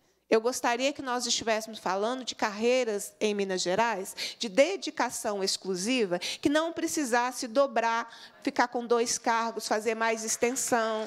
Então, as pessoas precisam compreender que esses mecanismos de ter dois cargos, de ter extensão, são mecanismos de sobrevivência para dar conta de ter um salário que sustente uma casa. Não é? é? então, são essas as proposições. Aí, o que eu queria também fazer uma sugestão aos sindicatos e a todas as pessoas que estão mobilizadas. Às vezes, as pessoas não vêm todas para cá, gente. Assim, é preciso também compreender que, como é uma maioria constituída por mulheres, né, que tem múltiplas funções que às vezes atiram da possibilidade de se deslocar por mais tempo. Não estou dizendo que quem está aqui não tem múltiplas funções, mas às vezes tem colegas que ficam impossibilitadas naquele dia, naquele momento. Né? Quem é, a, a mulher administra muita coisa. É muita coisa na sua casa, na sua estrutura familiar, coordena muita coisa. E muitas, muitas colegas podem não ter o, a, a, ao cargo na rede estadual. Se você tem outra fonte de renda, se você tem outra situação, você se torna mais difícil é, o deslocamento, né? Assim, de, de, mas há muita gente que eu quero dizer que muita gente está acompanhando essa audiência. Então, o que, é que nós podemos fazer no âmbito também aqui da Assembleia? Nossos projetos não andam sozinhos. Os nossos projetos é preciso didaticamente demonstrar que eles são importantes não é? é? e, por isso, os dois sindicatos poderiam fazer uma agenda legislativa, conversando com as comissões onde os projetos estão, para que os projetos sejam pautados. Com a comissão de educação não precisa, né, Macaé? Chegando aqui é, é, rapidamente resolvido. Mas as demais comissões, nós já pedimos para o presidente da Comissão de Constituição e Justiça pautar os, esses projetos. Nós já pedimos, e aí depois de lá, com o relator de cada um, porque o presidente pauta, mas outro tem um deputado que é relator. Nós já conversamos com os relatores desses, desses projetos de lei, para, inclusive, o relatório ficar de acordo com as necessidades né, e não, não, não alterar é, estruturalmente os projetos. Essas são ações que a gente pode fazê-las aqui, em paralelo à luta geral, à pressão e às mesas de discussão com o governo, com o governo do Estado. Eu já vivi a experiência do governo negar um direito o tempo inteiro, que foi a ampliação do tempo de vínculo dos servidores adoecidos pela Lei 100. Mas, apesar do governo ficar negando, nós conseguimos avançar com um projeto que era de minha autoria. Quando o projeto chegou no plenário, o governo enviou o projeto. Aí, como ele enviou, eu perdi a autoria, não tem problema. Nós não estamos disputando protagonismo de autoria de projeto de lei aqui. Eu faço porque é minha obrigação, eu estou aqui para isso, nós estamos aqui para legislar. Não é? Aí o o governo mandou o projeto, aí voltou, acho aí o projeto voltou para a comissão, tramitou, foi para o plenário, deu certo. É isso. Então, às vezes, a gente tensiona e pressiona uma proposição, e quando o governo vê que, que, que o projeto tramitou, ele reage. Às vezes, ele só vai reagir quando o projeto estiver no plenário pronto no plenário quer dizer que está pronto para a votação final, né, que é a aprovação ou não dos deputados. Então, essa movimentação é importante. Vou fazer um último exemplo, bem didático, como professora alfabetizadora que eu sou. A gente recebeu, você já recebeu o caderninho azul esse ano? Ainda não, né? Vai receber. Ano passado, nós recebemos aqui os deputados um caderninho azul. Agenda Legislativa Prioritária da FIENG 2022. A FIENG é a Federação das Indústrias do Estado de Minas Gerais, que luta muito né, em defesa das mineradoras. Aí, o que, que eles fizeram? Eles pegaram os projetos de lei, na leitura deles, Não só o que eles queriam aprovar, na verdade, o movimento deles foi o contrário, o que eles não queriam que fosse aprovado. Serra do Curral, PEC 67, somos contra. Aí fundamentava. Proteção da Serra do Brigadeiro, eu esqueci o nome da, da, da, da PEC, que é, que é minha. É, somos contra. Proteção. Aí, vários projetos, não era só projeto meu, não, de vários deputados. É, entregou para todos os deputados. Aí eu fiquei perguntando qual é o nosso caderno azul. Porque nós, classe trabalhadora, temos que ter o nosso caderno azul aqui. Se puder escolher uma cor diferente para não ficar tudo azul, né? É, qual é o nosso caderno aqui? Qual é? Eu, eu, eu fui acusada pelo Partido Novo de fazer lobby dos sindicatos. Qual é o nosso lobby? O que é o lobby? É fazer a força política da demonstração dos nossos interesses aqui, não é? Então essa essa movimentação ela faz diferença no parlamento. Divulgar os projetos, não só esses, todos que nós queremos, todos. Eu, eu citei porque eu, eu quero contar para vocês que eu estou trabalhando em defesa de vocês. Né? É, mas pegar, dar a opinião dos projetos no site da Assembleia, um projeto que tem muita movimentação, tem impacto aqui na tramitação. Estou contando para vocês do dia a dia do parlamento. Quando você tem muitos, muita movimentação, isso interfere, ajuda nos pareceres aqui dos projetos. Isso dá visibilidade ao projeto, aí é, é, é, dá mais visibilidade institucional. É sobre isso, é sobre qual é o nosso caderno azul. Eu diria caderno vermelho, né? que é a minha, minha paleta. Eu sou uma, uma, uma pessoa de uma paleta só, vermelho. Mas qual é o nosso caderno? Não importa. Pode ser um caderno de todas as cores, mas qual é o nosso caderno? Nós temos que ter caderno aqui nessa casa, tá bem? Então acho que essa é uma agenda para as entidades sindicais que eu queria deixar e para todos nós, como sugestão. Agora aquela, você quer é, é. Agora a nossa deputada Macaé Evaristo vai fazer suas considerações e depois o Fernando vai nos responder tudo, dizer que tudo será resolvido. O Fernando, o Fernando fará é nos dizer em que prazos, é em que prazos, não é? Vai nos dar sinal verde para as proposições na casa e nós vamos sair dessa, dessa audiência bem, bem, bem. Esse é o nosso compromisso. Macaé, com a palavra.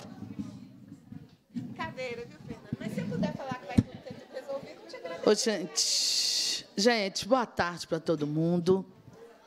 Mas eu quero saudar vocês, né, pela presença nessa audiência pública.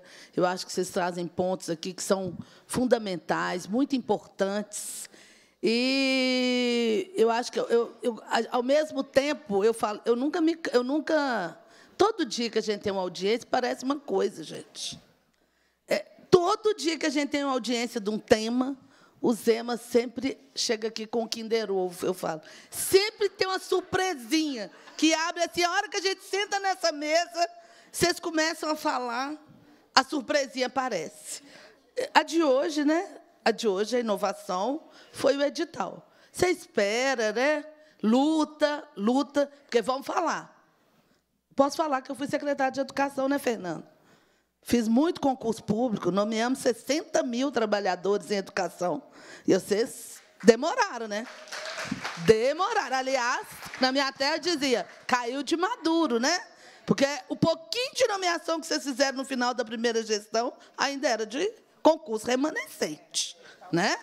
Então, a gente espera pelo concurso, porque, veja bem, né, gente?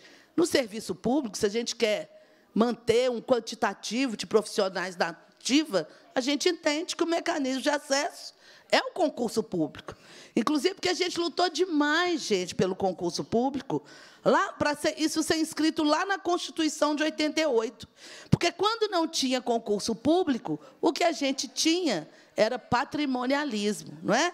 As pessoas falavam assim, o povo novo nem sei se sabe essa expressão, QI. O que, que era o QI? Quem indica, né? Era quem indica o diretor ou a diretora da escola, quem indica o professor, a professora, quem indica o auxiliar de serviço básico ou o especialista. E a gente sabe muito bem a que, que isso atendia. Né? Atendia os interesses de alguns poucos. Então, Infelizmente, a gente está aqui num Estado, né, que o nosso governo não é do Estado mínimo, eu tenho dito muito isso, ele é da política do não Estado, ele quer destruir todo o patrimônio dos mineiros. E é claro, né, gente, elege a escola pública, vocês já falaram aqui muito bem, não é?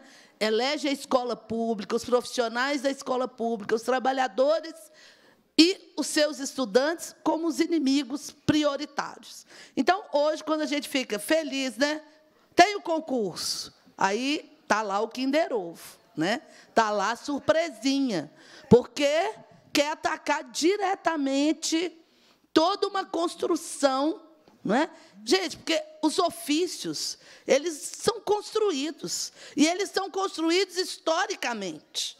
Então, eu fico imaginando a gente abrir um, um, uma, um edital de concurso para o DR, né? e está lá um edital para contratação de engenheiro, e aí a gente vai poder ter lá que qualquer profissional, bacharel de qualquer área, né? Se tiver ali alguma especialização, eu, por exemplo, adoro arquitetura, leio, estudo, né? Quem sabe a gente faz uma pós em cidades sustentáveis e aí eu já posso fazer um concurso na área de engenharia, não é? É isso, é disso que se trata. Né? Eu acho assim, tem aberrações né? É, no edital. Nós aqui, nós, nós ainda não, eu, nós não tivemos tempo de ler o, todo o edital, tá, gente? Nós discutimos aqui, e a iniciativa aqui que nós assinamos, iniciativa da deputada Ana Paula, é em cima de um aspecto específico que vocês imediatamente já trouxeram para nós aqui nessa audiência. Mas há que se ler o conteúdo de todo o edital. Não é?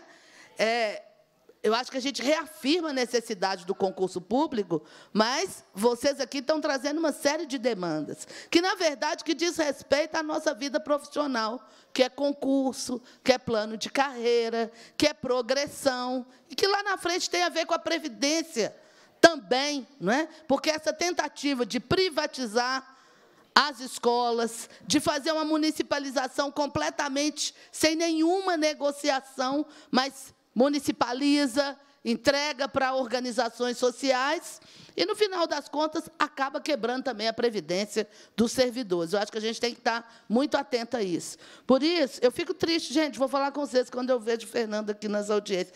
Nada contra ele, é porque toda vez é a mesma historinha, né, Fernando? Então, eu espero que hoje eu seja surpreendida, que ele traga novidades, mas eu acho que precisa de um compromisso sério do Zema, de um olhar para a educação, para a escola pública de Minas Gerais. Porque tem uma série de questões aqui que vocês é, elencaram, que são questões administrativas, não é? que sentar numa mesa de negociação com disposição de solução, tem soluções, gente, que elas são simples, né? que elas podem ser trabalhadas. Agora, a negação ao diálogo é o que há de pior. Porque quando você se nega ao, di ao diálogo, você tem muito pouca chance de compreensão da realidade. Então, nós estamos aqui né, esperando né, é, a sensibilidade do governador, porque a responsabilidade é dele.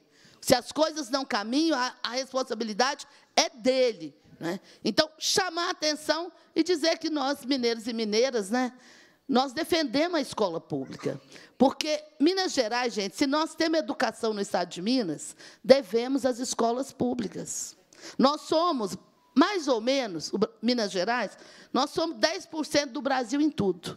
Então, se a gente tem em torno de 45 milhões, 40 milhões de matrícula na educação básica, 4 milhões com certeza estarão em Minas Gerais, dividido entre as redes públicas, municipais e uma faixinha muito pequena tá? da iniciativa privada. De verdade, quem faz a educação chegar. Né? Vou falar, Matias Cardoso, São João das Missões, lá no sul de Minas, município de 3 mil, 4 mil habitantes. Quem faz a educação chegar é o serviço público. Né? A tentativa de desmantelar a educação é uma tentativa de negar a educação, vou dizer, para um Estado com a diversidade e pluralidade do nosso. E aí não tem nem que falar do Ceará, gente. A estrutura do Ceará, né, quando ela foi formulada, o Ceará hoje, hoje tem 184 municípios.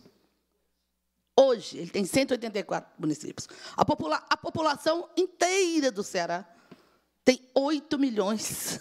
Entendeu?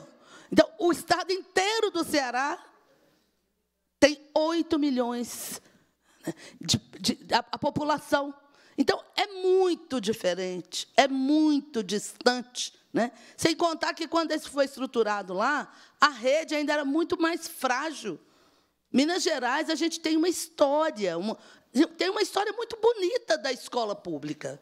Né? Nós temos escolas é, que, que são exemplos, que são que educaram, vamos dizer assim, todo o conjunto da população dos seus municípios. E a gente sabe disso. Todas as crianças, todos os adolescentes passaram pelas escolas públicas, que nem tem escola privada, gente.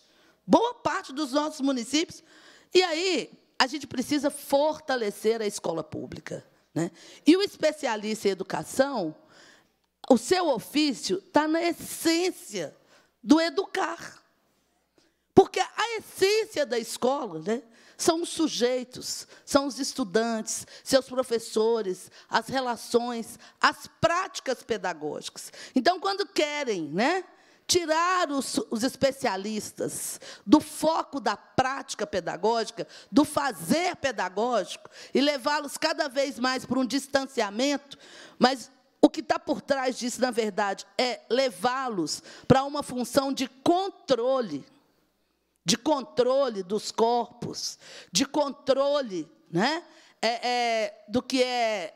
Quer, quer controlar tudo e usa a estratégia administrativa na produção desse controle. E nos afasta do que é essencial, quer estar próximo dos professores, das professoras, quer estar próximo dos estudantes, quer construir momentos de escuta, de formação coletiva, de pensar e refletir sobre a prática pedagógica.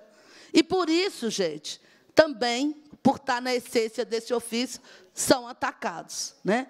Então, eu queria dizer aqui do compromisso da comissão, dessa comissão, com, com essa agenda e dizer para o governo Zema, né, gente, que não dá, que chega, que essa, que essa lógica dele de não Estado já, já era, já foi derrotada nas urnas, porque nós derrotamos no Brasil. E ele fez o estelionato eleitoral, porque no primeiro turno fingiu que. Ah, isentão, né, gente? É o povo que finge de isentão, faz as fotos que quer, quando quer, para usar. Né? E depois declarou seu bolsonarismo. Porque se tivesse colado no Bolsonaro, estaria derrotado. Porque Minas Gerais derrotou o bolsonarismo. Então, é, o compromisso né, e a derrota do bolsonarismo foi uma reafirmação que o povo brasileiro e o povo mineiro acredita no serviço público uma população sem educação, uma população sem acesso à saúde, sem o SUS, não é, gente? Não tem desenvolvimento. Não é possível pensar outra forma de desenvolvimento. Então, já deu, Zema. Já deu. Já, vamos mudar de registro. Está na hora de encarar. E o que não fez nesses quatro anos, tomar consciência, chamar para si, assumir sua responsabilidade. Os mineiros merecem educação de qualidade e seus profissionais merecem ser valorizados.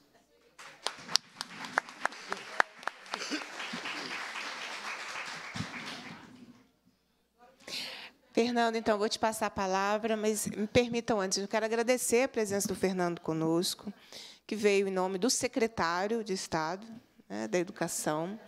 É, está conosco desde as 9h30 também, como todas as pessoas que estão aqui.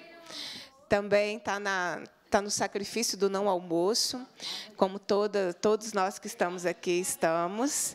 É, então, eu vou te passar a palavra para ver os encaminhamentos possíveis, necessários, não é?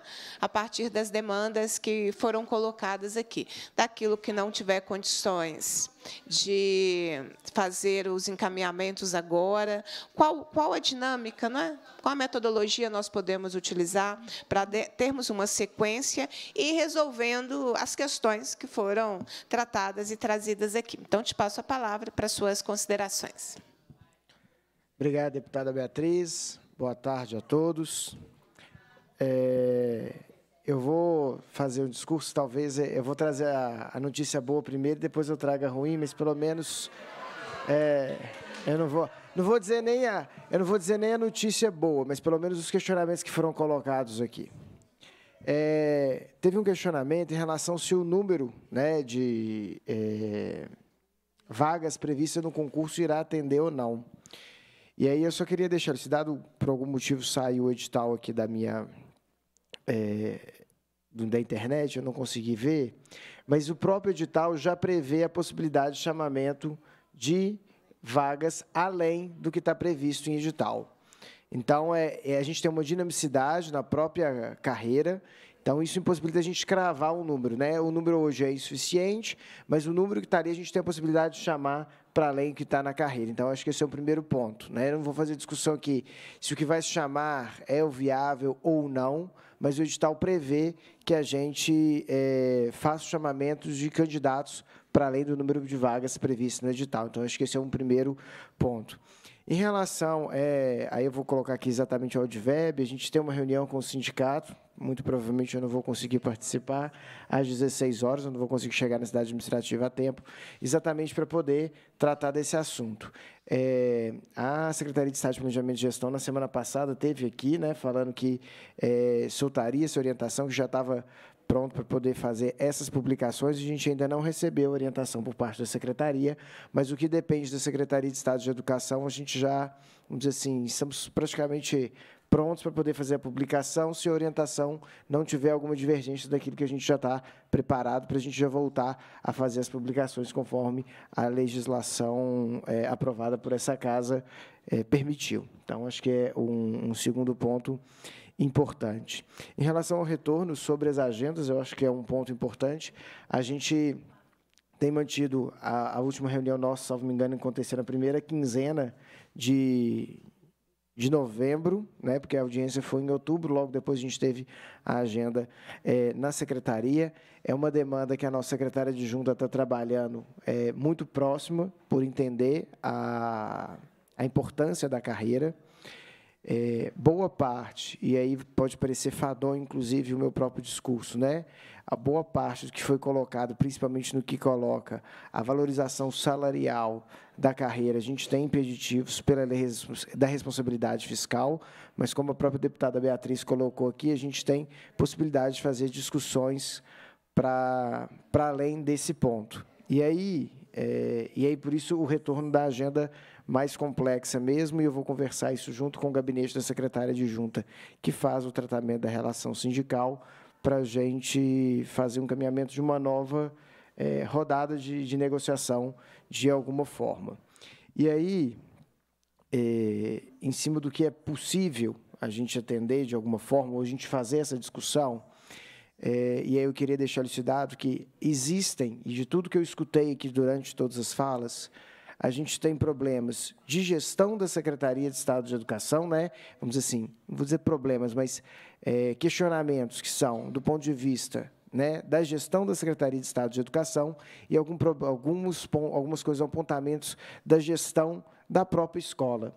E aí eu vou voltar na audiência que eu tive aqui há mais ou menos um mês sobre os ASBs, que a gente fica assustado, né? que o USB não estava podendo se alimentar na escola, ou que o USB também não tinha condições de trabalho, como material de trabalho para poder trabalhar, equipamentos de proteção de alguma forma. E aí foi onde é que eu afirmei que é, o recurso estava sendo, a legislação permitia, então a gente tem problemas dentro da própria escola. E o que, por mais que a gente faça a orientação, a discussão, o trabalho, são problemas internos de cada escola. E aí, deputada, é, se me permite, eu acho que o encaminhamento que foi feito na última reunião da abertura né, de, um, de um formulário para poder receber os problemas que estariam ocorrendo nas escolas. Eu acho que alguns pontos aqui que a gente também tem de sobrecarga, de assédio que está colocado aqui, isso acaba que não chega no órgão central de alguma forma. Né? Isso fica muito restrito ali na escola, são 3.600 escolas, mais de 3.600 escolas. Então, nesse ponto, eu acho que vai, é, é, a gente pegar, talvez... É, alguns pontos principais desses problemas que estão acontecendo na gestão da escola, a gente conseguir mapear e conseguir minimizar esses problemas que estão postos aí de gestão dentro da própria escola. É, Então, é, seria é, o encaminhamento. Então, eu queria só fazer essa diferenciação, que às vezes a gente está acontecendo algum problema, mas a gente, quanto órgão central lá na secretaria, a gente é, infelizmente e felizmente, eu acho que é mais felizmente do que infelizmente, a gente respeita também essa autonomia que está acontecendo lá na escola. O diretor da escola foi eleito, então ele tem autonomia dentro dos regramentos da secretaria, das normativas da secretaria, para poder atuar. E se ele está em desacordo, é importante que isso chegue com, com a gente aqui. E aí eu acho que vai muito na fala, né? Eu não vou lembrar aqui exatamente de quem colocou, mas é, é, é, a jornada de trabalho é para 24 horas, não é para 40, né? As funções de especialistas estão bem postas na legislação. Então, é, isso a gente precisa apurar e, de alguma forma, dar, dar um encaminhamento, e aí eu conto com o apoio dessa comissão também, que eu acho que soma a, a luta. Então, acho que isso é um, um, um segundo ponto. Em relação a, a, ao módulo 2, né, que seria uma outra demanda que chegou aqui e eu acho que vale uma discussão. É, provavelmente vamos precisar de autorização, alteração legislativa, sim, deputada, sabendo que já tem um projeto de lei correndo. E aí é um estudo que a gente tem que fazer de forma mais detalhada, e eu vou buscar elucidar aqui o motivo de por que talvez essa demanda não seja acatada de imediato. Tá? Então, é, é, é um ponto. E aí, se eu tiver equivocado em algum momento da minha fala, né, tem especialistas aqui que podem me corrigir ao longo dela. É, a jornada de trabalho de um especialista é de 24 horas semanais. Né? É, a partir do momento, e como é que a deputada propôs aqui, da gente talvez utilizar um terço dessas horas semanais é, para planejamento, eu acho que é super válido, eu acho que a ideia é, é pode ser estudada, sim, deve ser estudada. E aí, quando a gente faz né, um terço dessa carga horária para 24 horas, o que, que a gente tem que pensar para a gente não ter o um empecilho da lei de responsabilidade fiscal? Porque se a gente também ficar fazendo uma discussão que vai cair no empecilho da lei da responsabilidade fiscal, eu tenho que concordar com a deputada que nós vamos ficar nessa discussão ad eterno e nós não vamos conseguir resolver nada. Não adianta eu chegar aqui só com a discussão, que é um impeditivo de lei de responsabilidade fiscal, e a gente não consegue fazer negociação. Então, estou buscando aqui elucidar qual é o impeditivo que a gente pode correr, para saber qual solução a gente pode encontrar em cima disso. Então, se eu tenho um especialista com 24 horas semanais e a gente repassa esses especialistas às 8 horas para ele poder exercer as atividades de planejamento, podemos pensar essa atividade pode ser dentro da própria escola, pode ser fora pode ser fora da, fora da escola, mas essa discussão a gente tem que fazer. Isso implica que, e aí eu vou, é uma discussão muito técnica, mas eu acho que é importante elucidar aqui. Quando eu tenho 24 horas semanais é, alocadas né, de um servidor para determinada atividade, então eu considero que ele está fazendo 24 horas aqui daquela atividade ali, das atividades especialistas. Quando eu retiro dessas 24 horas, 8 horas para ele fazer uma atividade de planejamento que eu acho super válida, e aí eu não vou entrar no mérito dentro ou fora da escola, mas que eu acho super válida, a gente automaticamente está retirando 8 horas de trabalho que estariam dentro da escola. Certo? Então, eu não teria 24 horas de trabalho dentro da escola, eu teria 12 horas de trabalho. E a cada, fazendo uma conta, a cada. 16, desculpa, 16. 16 horas. E aí, essas oito horas que eu teria desse profissional ali, se eu somar três profissionais, é como se eu estivesse perdendo. A cada quatro, né, a cada três profissionais, a cada quatro profissionais, eu precisaria de mais um profissional quando eu fizesse isso. Então, eu precisaria de alguma forma, e aí não estou dizendo que isso é um impeditivo, a gente precisa fazer uma discussão de como é que a gente rearranjaria os serviços dentro da própria escola para que isso fosse possível, sem que eu tivesse a necessidade de contratação de um outro servidor para poder compensar aquelas horas ali.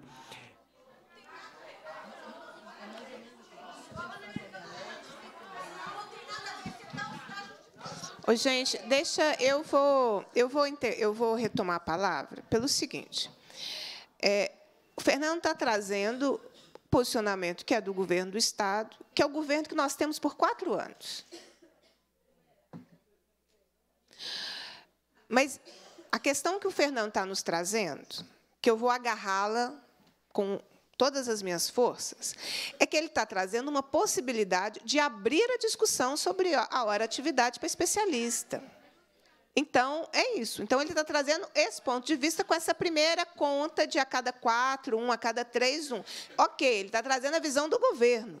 Mas o que, que ele está nos dizendo aqui? Olha, é possível discutir o assunto. E se é possível discutir o assunto, é mais do que o, o que, que nós tínhamos até o momento. Então, vamos, vamos eu, o que eu quero, o, que, o meu encaminhamento quando o Fernando terminar vai ser esse, assim, ó, nós vamos agarrar isso, vamos ver como é que a gente constrói esse processo, porque a discussão de hora atividade de planejamento, estudo, é um mecanismo importantíssimo para é, uma política que, que enfrente o adoecimento, a sobrecarga de trabalho, o volume de atividades administrativas que os especialistas estão sendo obrigados, porque é isso, chega o comando. Você não tem a, a, autonomia do seu trabalho pedagógico, chega o comando. E se não fizer, processo administrativo disciplinar. É isso que está acontecendo hoje na escola. O comando é esse, tantos diários, tantas situações. É isso, não é não? É isso. Então, nós vamos agarrar essa abertura, que aí eu vou encaminhar daqui a pouco, porque é isso, nós precisamos avançar. Nós precisamos avançar. As pautas gerais salariais, elas não são com a Secretaria de Educação. Aí depende da luta geral que a categoria vai, vai estar organizando. Mas as questões específicas que dependem da secretaria, a nossa função é tentar avançar, até para depois, se não avançar, nós vamos dizer, olha, a gente demonstra a, a, indisposição geral do governo em avançar com proposições nossas. Mas vocês me permitem a franqueza de pensar o encaminhamento. Nós vamos agarrar e vamos tentar construir alternativas de hora de estudo e planejamento para os especialistas em Minas Gerais, como um direito, não é? Que é isso que ele está abrindo a discussão aqui, se eu entendi correto. Porque se eu não entendi correto, ele aproveita e já me corrige, e aí a gente faz outros encaminhamentos. Não, a ideia é exatamente a gente abrir a discussão. E, e, a ideia de abrir discussão, eu estou sendo muito transparente e sincero, de onde é que a gente vai ter impedimento de avançar na discussão também para a gente encontrar uma solução. Então, quando a gente. É, é, isso necessariamente vai é, me obrigar à contratação de um outro profissional, e essa contratação do outro profissional vai me gerar aumento da folha e automaticamente vai estar vedado pela LRF. Então, é, o ponto é, a gente está aberto à negociação, a gente tem essa, essa limitação, e como é que a gente pode fazer isso? Vamos discutir que a gente pode ter um fluxo de trabalho melhor para poder minimizar isso? Onde é que está a falha? Como é que a gente pode melhorar o fluxo?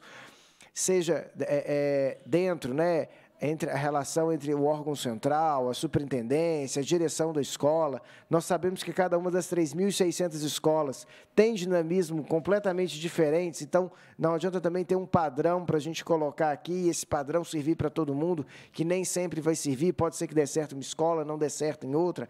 Então, é, dentro das atividades do especialista, como é que a gente pode aprimorar o fluxo de forma a ganhar eficiência, necessitar dessa mão de obra, né, é, é, dessa força de trabalho, é, ela seja ajustada e, consequentemente, a gente fazer a discussão é, de um terço para planejamento.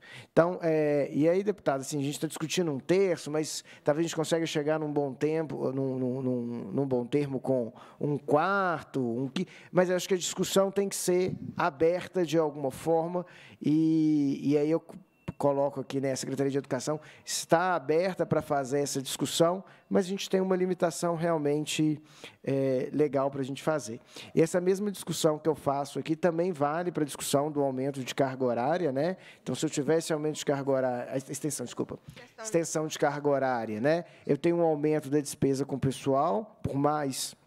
Então, a gente tem que Ó, é possível, quanto é possível, e a Secretaria de Estado de Educação realmente já está é, dentro do, da questão de limite de gasto pessoal, a gente já está é, no limite do limite realmente. Então, a gente tem essa, essa dificuldade. A gente sabe que a demanda por especialista é grande, os pedidos chegam à secretaria e a gente avalia é, todos eles. E, por fim, só para fazer uma, uma última questão que a deputada Lohana colocou aqui, em relação à nomeação dos dois mil especialistas.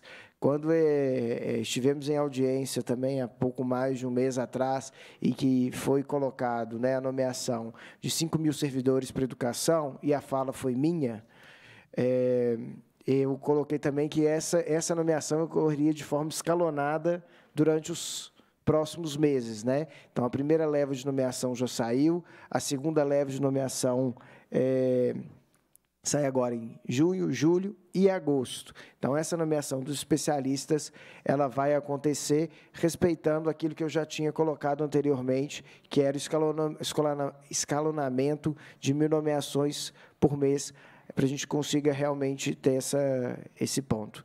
Então, é, é, seria mais ou menos nesse sentido.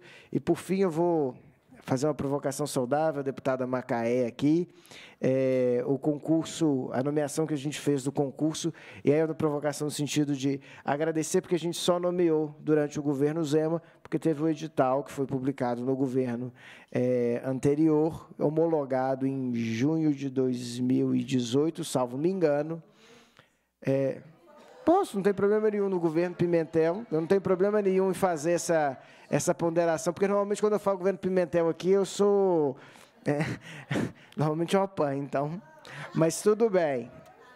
É, o governo, né, do governo anterior, e como não se conseguiria nomear todo mundo, né? É, durante 2018, a gente continuou fazendo essas nomeações durante 2019, 2020, 2021, e conforme eu já disse na última audiência, acredito que essa, essas últimas levas de cinco mil nomeações, todos aqueles aprovados dentro do número de vagas do concurso de 2017, e até aqueles que estão para além do número de vagas, a gente tem demanda, nós vamos fazer a nomeação, como tiveram, infelizmente, muitas das vagas desse concurso de 2017 não tivemos candidatos aprovados, ou todos que foram aprovados já foram chamados, é, não assumiram posto, a gente tem professor convocado, é, teve-se a necessidade de novo concurso, que foi esse publicado no dia de hoje, é, com nomeações, como eu já falei, que já devem ocorrer por volta do mês de fevereiro, março do ano que vem, se a gente tiver nenhum tipo de intercorrência. Tá bom? Obrigado.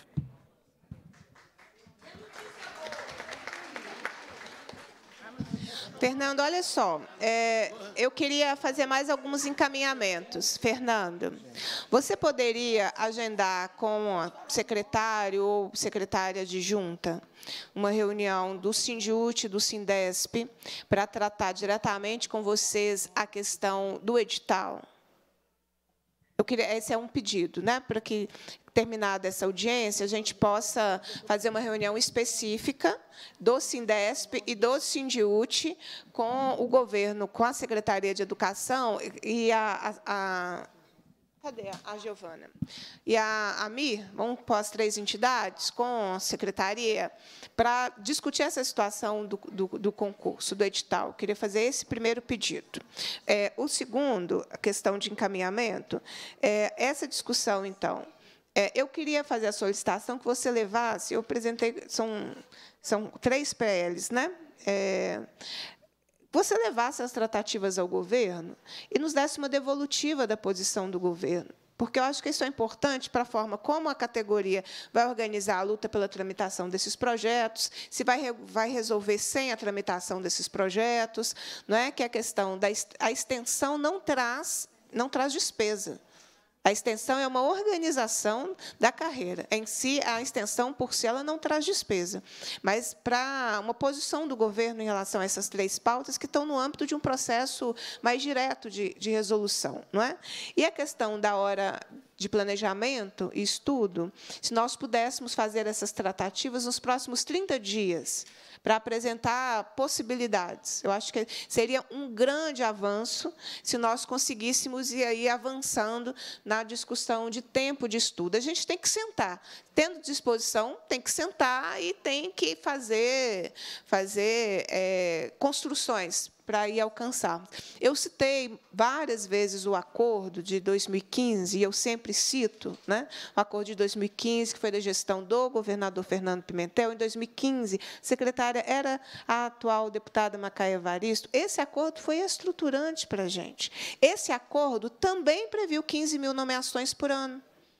Foi desse acordo. Foi, em 2015, foi pactuado um processo de médio prazo, que não foi só imediato. Né? E foi um processo de negociação importante. Nós destravamos uma questão de carreira é, daquelas pessoas de 2000. Eu não me lembro da data, gente, porque, mas eu não, não sei se foi de 2008, que eles tinham um impeditivo de carreira, de estava travada a carreira na promoção. Nós conseguimos fazer uma transição. Então, às vezes, você tem situações que você faz transições, que você faz uma organização que vai conseguindo resolver os problemas. Né? Então, aquele, aquele processo foi estruturante para a gente. 2014, tinha em cada cantinho da cidade administrativa os montes, aos montes, pastas de aposentadoria que não eram encaminhadas, e por isso nós tivemos, de 2015 para frente, a publicação de milhares de aposentadorias, que gerou um passivo de férias-prêmio mesmo. Mas que bom, que teve, que teve um processo de diminuição das, das é, dos, dos, montes de pasta de aposentadoria que existiam, porque as pessoas não conseguiam as suas a, é, a publicação nem, nem as, as publicações básicas, né, gente? E isso destravou muito cargo que estava esperando, não era vago, porque não tinha a, a situação da, da, publicação da aposentadoria. E de 2015 a 2018 também a gente teve vários eh, os cargos que estavam com, é, não liberados para as pessoas que estavam em vez de aposentar, mas o cargo ele seria vago, esses cargos passaram a ser liberados para para as nomeações. Então, olha só, gente, eu citei vários exemplos daqueles que eu lembro de cabeça, na, na, perspectiva de um processo de negociação. Então, eu queria esses encaminhamentos. Só um último encaminhamento, a questão do assédio. Acho que nós vamos assumir essa batalha aqui pela Comissão de Educação, então, para que a gente faça um enfrentamento mais estrutural. Vamos pensar o que fazer, depois a gente apresenta, apresenta para a secretaria, apresenta para os sindicatos, como é que nós vamos organizar essa discussão aqui. Vamos puxar para nós, porque a situação, de fato, está muito muito, muito grave, ela é adoecedora. Pela ordem, deputada Macaé Evaristo. Não, pela ordem, só para lembrar que esse passivo em relação à aposentadoria não é provocado quando se publica a aposentadoria, porque isso já era direito dos servidores. Esse passivo ele se faz quando você requer a sua aposentadoria, ela é concedida, mas não é publicada. Não é? Então, esse passivo foi herdado, é preciso dizer isso. Não é? Então, é, a publicação da aposentadoria ela precisa ser concedida. Inclusive também, gente, porque é um outro debate. Aí eu vou dizer, porque secretário de Educação tem que brigar muito. Né? Inclusive com o secretário da Fazenda. Por quê? Porque eles querem deixar as pessoas na conta do orçamento da educação. Tá? Então, isso, assim, isso é uma questão. Então, publicar a aposentadoria faz com que você saia do orçamento da educação e libere o orçamento da educação. Isso não é, não é, não é uma, um debate simples, mas é preciso a gente dizer isso. Toda vez que o governo começa a deixar os pacotes de aposentadoria empilharem, né, é o passivo sendo criado, fisicamente. Né, ele está sendo criado. Então, só para a gente lembrar disso, mas eu acho que o que é mais importante é ter uma disciplina. Né, de é, rotina, é isso, uma rotina de sentar, discutir, negociar, mas aqui negociar e fazer, né, gente? Concretizar. Eu acho que é isso que a gente precisa. Então, olha só, esses encaminhamentos nós podemos. É, a questão de você verificar uma reunião com a Secretaria de Educação, é dia 14, é, a Secretaria de Educação com o Sindesp, com o Sindiut e com a, a, a AMIR, para a questão do edital. Eu acho que precisaria de uma discussão mais aprofundada para ver as resoluções em relação a isso. Então, você, pede para a gente. A questão de um, terço hora atividade, então, nós vamos ver aí nos próximos 30 dias para construir as primeiras medidas em relação é, a isso. Pode ser? Pode. Deputada, só para poder é, a gente alinhar a expectativa de alguma forma, é, sobre esse segundo ponto, a gente marca a primeira sobre a questão da carga horária, né, da, da, atividade, a gente marca uma primeira reunião, mas não acredito que solução, né, é, é, encaminhamento final nós não vamos ter em 30 dias. Mas, com certeza, uma reunião para a gente sentar e discutir, em 30 dias a gente vai se esforçar nesse sentido. Mas eu não vou me comprometer com uma coisa que eu tenho quase uma probabilidade certa que a gente não vai conseguir esgotar as possibilidades em 30 dias. Tá bem, mas então, mas então o compromisso de já iniciarmos as discussões, as discussões, internas tá imediatamente. Aí você leva o imediatamente para ver a agenda do imediatamente, tá bem? Então acho que esses primeiros encaminhamentos, não, não, gente, não é não. A gente está no poder legislativo, a gente está numa comissão que faz devolutivas, que tá, acompanha processos, que tem requerimentos, que tem projetos de lei. Quando a gente chama a responsabilidade para a gente, a gente está se comprometendo com a agenda. É claro que a gente não substitui o governador. Né? Então, todas as perguntas que eu recebo e o piso, eu, a minha vontade é, é pegá-las e encaminhar para o governador, porque o governador é o governador do Estado para cumprir a Constituição do Estado e encaminhar as proposições para cá. Nós é, fazemos a cobrança, a fiscalização, as proposições, as audiências, não damos passo para o governo, vamos dizer assim, é? A gente não, a gente não, a- não arrefece na luta em defesa da educação, só vê a agenda de trabalho da Comissão de Educação, Ciência e Tecnologia é, aqui da Assembleia. Então, esses encaminhamentos, eu quero chamar para a gente finalizar o João Lincoln de Almeida, que eu vou finalizar com uma pauta positiva. Aliás, esta audiência ela é um momento importante para a gente. É, é- é- é tirar da invisibilidade a, a vida de cada pessoa que está dentro da escola e mostrar para a sociedade. Então, nós estamos fazendo essa, essa agenda. De, a, próximo dia 7, nós vamos fazer a discussão da carreira é uma próxima quarta-feira, às 9h30, também nós vamos discutir a, a política de valorização pela carreira, que ela é essencial. E na quarta-feira seguinte, que é dia 14, é a nossa audiência sobre a situação dos aposentados da rede estadual, também às 9h30. Então, a gente está com uma agendinha aí de lutas, é, que são as próximas que nós teremos, tá bem? O senhor quiser, onde o senhor quiser falar, quiser aqui, quiser na, na tribuna, fique à Deputada. vontade, por favor. Deputado, Oi. só um ponto para a gente conseguir fazer um bom encaminhamento da, da nossa reunião sobre edital. É, eu vou me comprometer aqui a gente encontrar uma agenda, e aí eu já peço que os três né, atores envolvidos já apresentem os questionamentos, já levem, tentem antecipar isso, para que a gente tenha uma reunião mais produtiva, porque apresentar na hora, fazer a discussão na hora, é, então assim, qu- quanto antes já ter esses questionamentos, já encaminhar para a gente, a gente fazer, eu vou pedir para a gente tentar fazer essa agenda junto com a, a Secretaria de Junta, que é responsável por essa relação Tá sindical. bem. Aí nós vamos, vamos ficar essa sugestão, mas eu só vou pedir que você seja marcado muito rápido, porque o tempo vai consolidando. É, aí eu vou ser uma intrometida e vou fazer uma sugestão de que as três entidades sindicais possam atuar juntas, porque quando aí é tática de negociação que a gente aprende nos cursos do DIESE. Quando você recebe três documentos, a fragmentação fortalece o patrão, de modo que ele vai escolher sobre o que conversar primeiro. Tática, viu?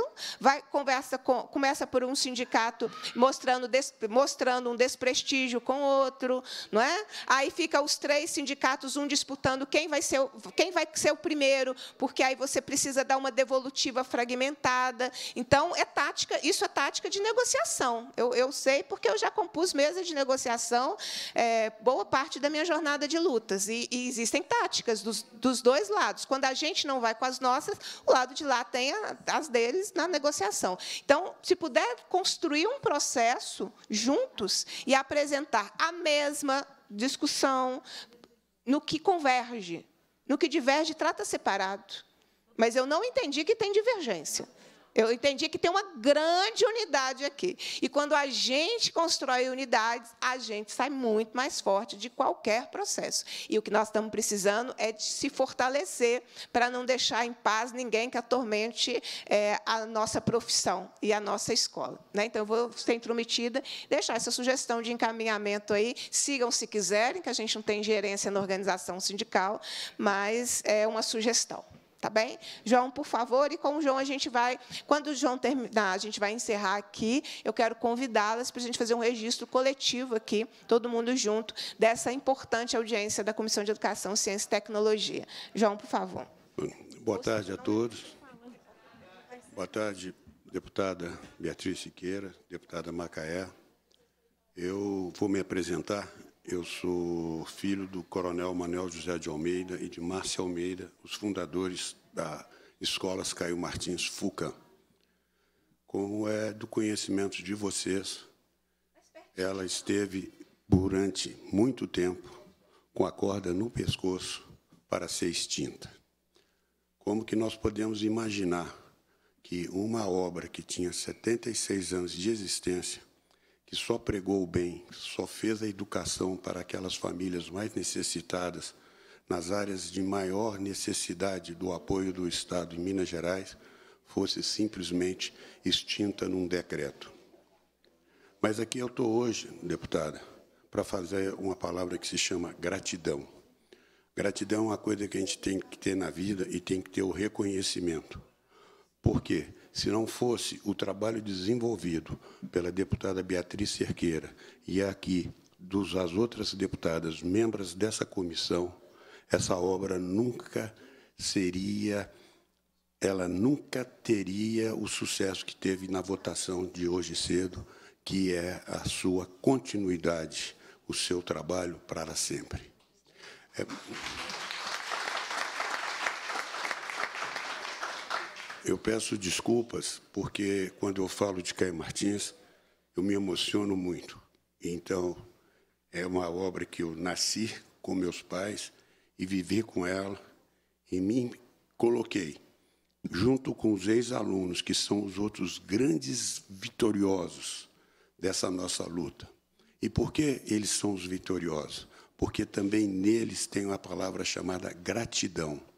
Gratidão com a obra que teve com eles o acolhimento quando eles mais precisavam no início da sua vida. E hoje eles fizeram uma bandeira, a bandeira da Flor de Lis, que foi empenhada, levantada pela deputada Beatriz Cerqueira e demais parlamentares. Mas atrás dessa bandeira estava toda uma quantidade que chega a mais de 80 mil alunos, que pregava a continuidade da Caio Martins. E por que, que eles falavam isso? Porque hoje eles são gente de bem, são gente que estão para prestando serviços para a sociedade e viram que Caio Martins não pode ser fechada. Por que, que não pode? Porque ela só fez o bem para quem precisava. E quantas crianças que existem na nossa sociedade que ainda precisam dos abraços e do cobertor de uma instituição como a Fundação Caio Martins. Então, eu agradeço. A palavra que eu tenho da família Almeida, deputada, é gratidão. Gratidão do fundo do coração que levo aqui o, a todos vocês presentes, que nunca se pode pensar em fechar escolas. Meus Deus do céu, nunca. Escolas têm que ser aperfeiçoadas, modernizadas, ampliadas, porque nós temos em Minas Gerais muitas crianças que precisam do nosso abraço e do nosso acolhimento. E aqui a gente vê que num parlamento mineiro, numa comissão específica, como que foi a luta para a preservação de uma escola, mas nunca perdemos a esperança, e sim tínhamos em mente que tudo, quando você tem as boas intenções, você está pensando positivamente para a coletividade, você vai ser sempre um vencedor. Muito obrigado, deputada. Muito obrigado mesmo. Estamos juntas, né? Estamos juntas. Essa é uma comissão que defende a educação. Então, é, a nossa nossa alma está tá mais tá mais leve, o coração está mais acolhido é, porque vários momentos eu acho que nós chegamos a, a ver que nós nós perderíamos, mas nós vendo uma realidade bem difícil, nós não desistimos. Né? Então é, é isso, é isso, gente. A gente está aqui é para fazer isso, é para defender a educação incansavelmente pelo tempo necessário. E eu costumo dizer, e quando a gente cansar, a gente continua mesmo que cansado, né? porque a gente tem o direito de cansar. Mas a gente continua mesmo que cansado. Estamos juntos. Foi uma enorme, foi, uma, foi um aprendizado para a Assembleia, para a Comissão de Educação, vou dizer para mim, fazer esse processo de luta com todos vocês.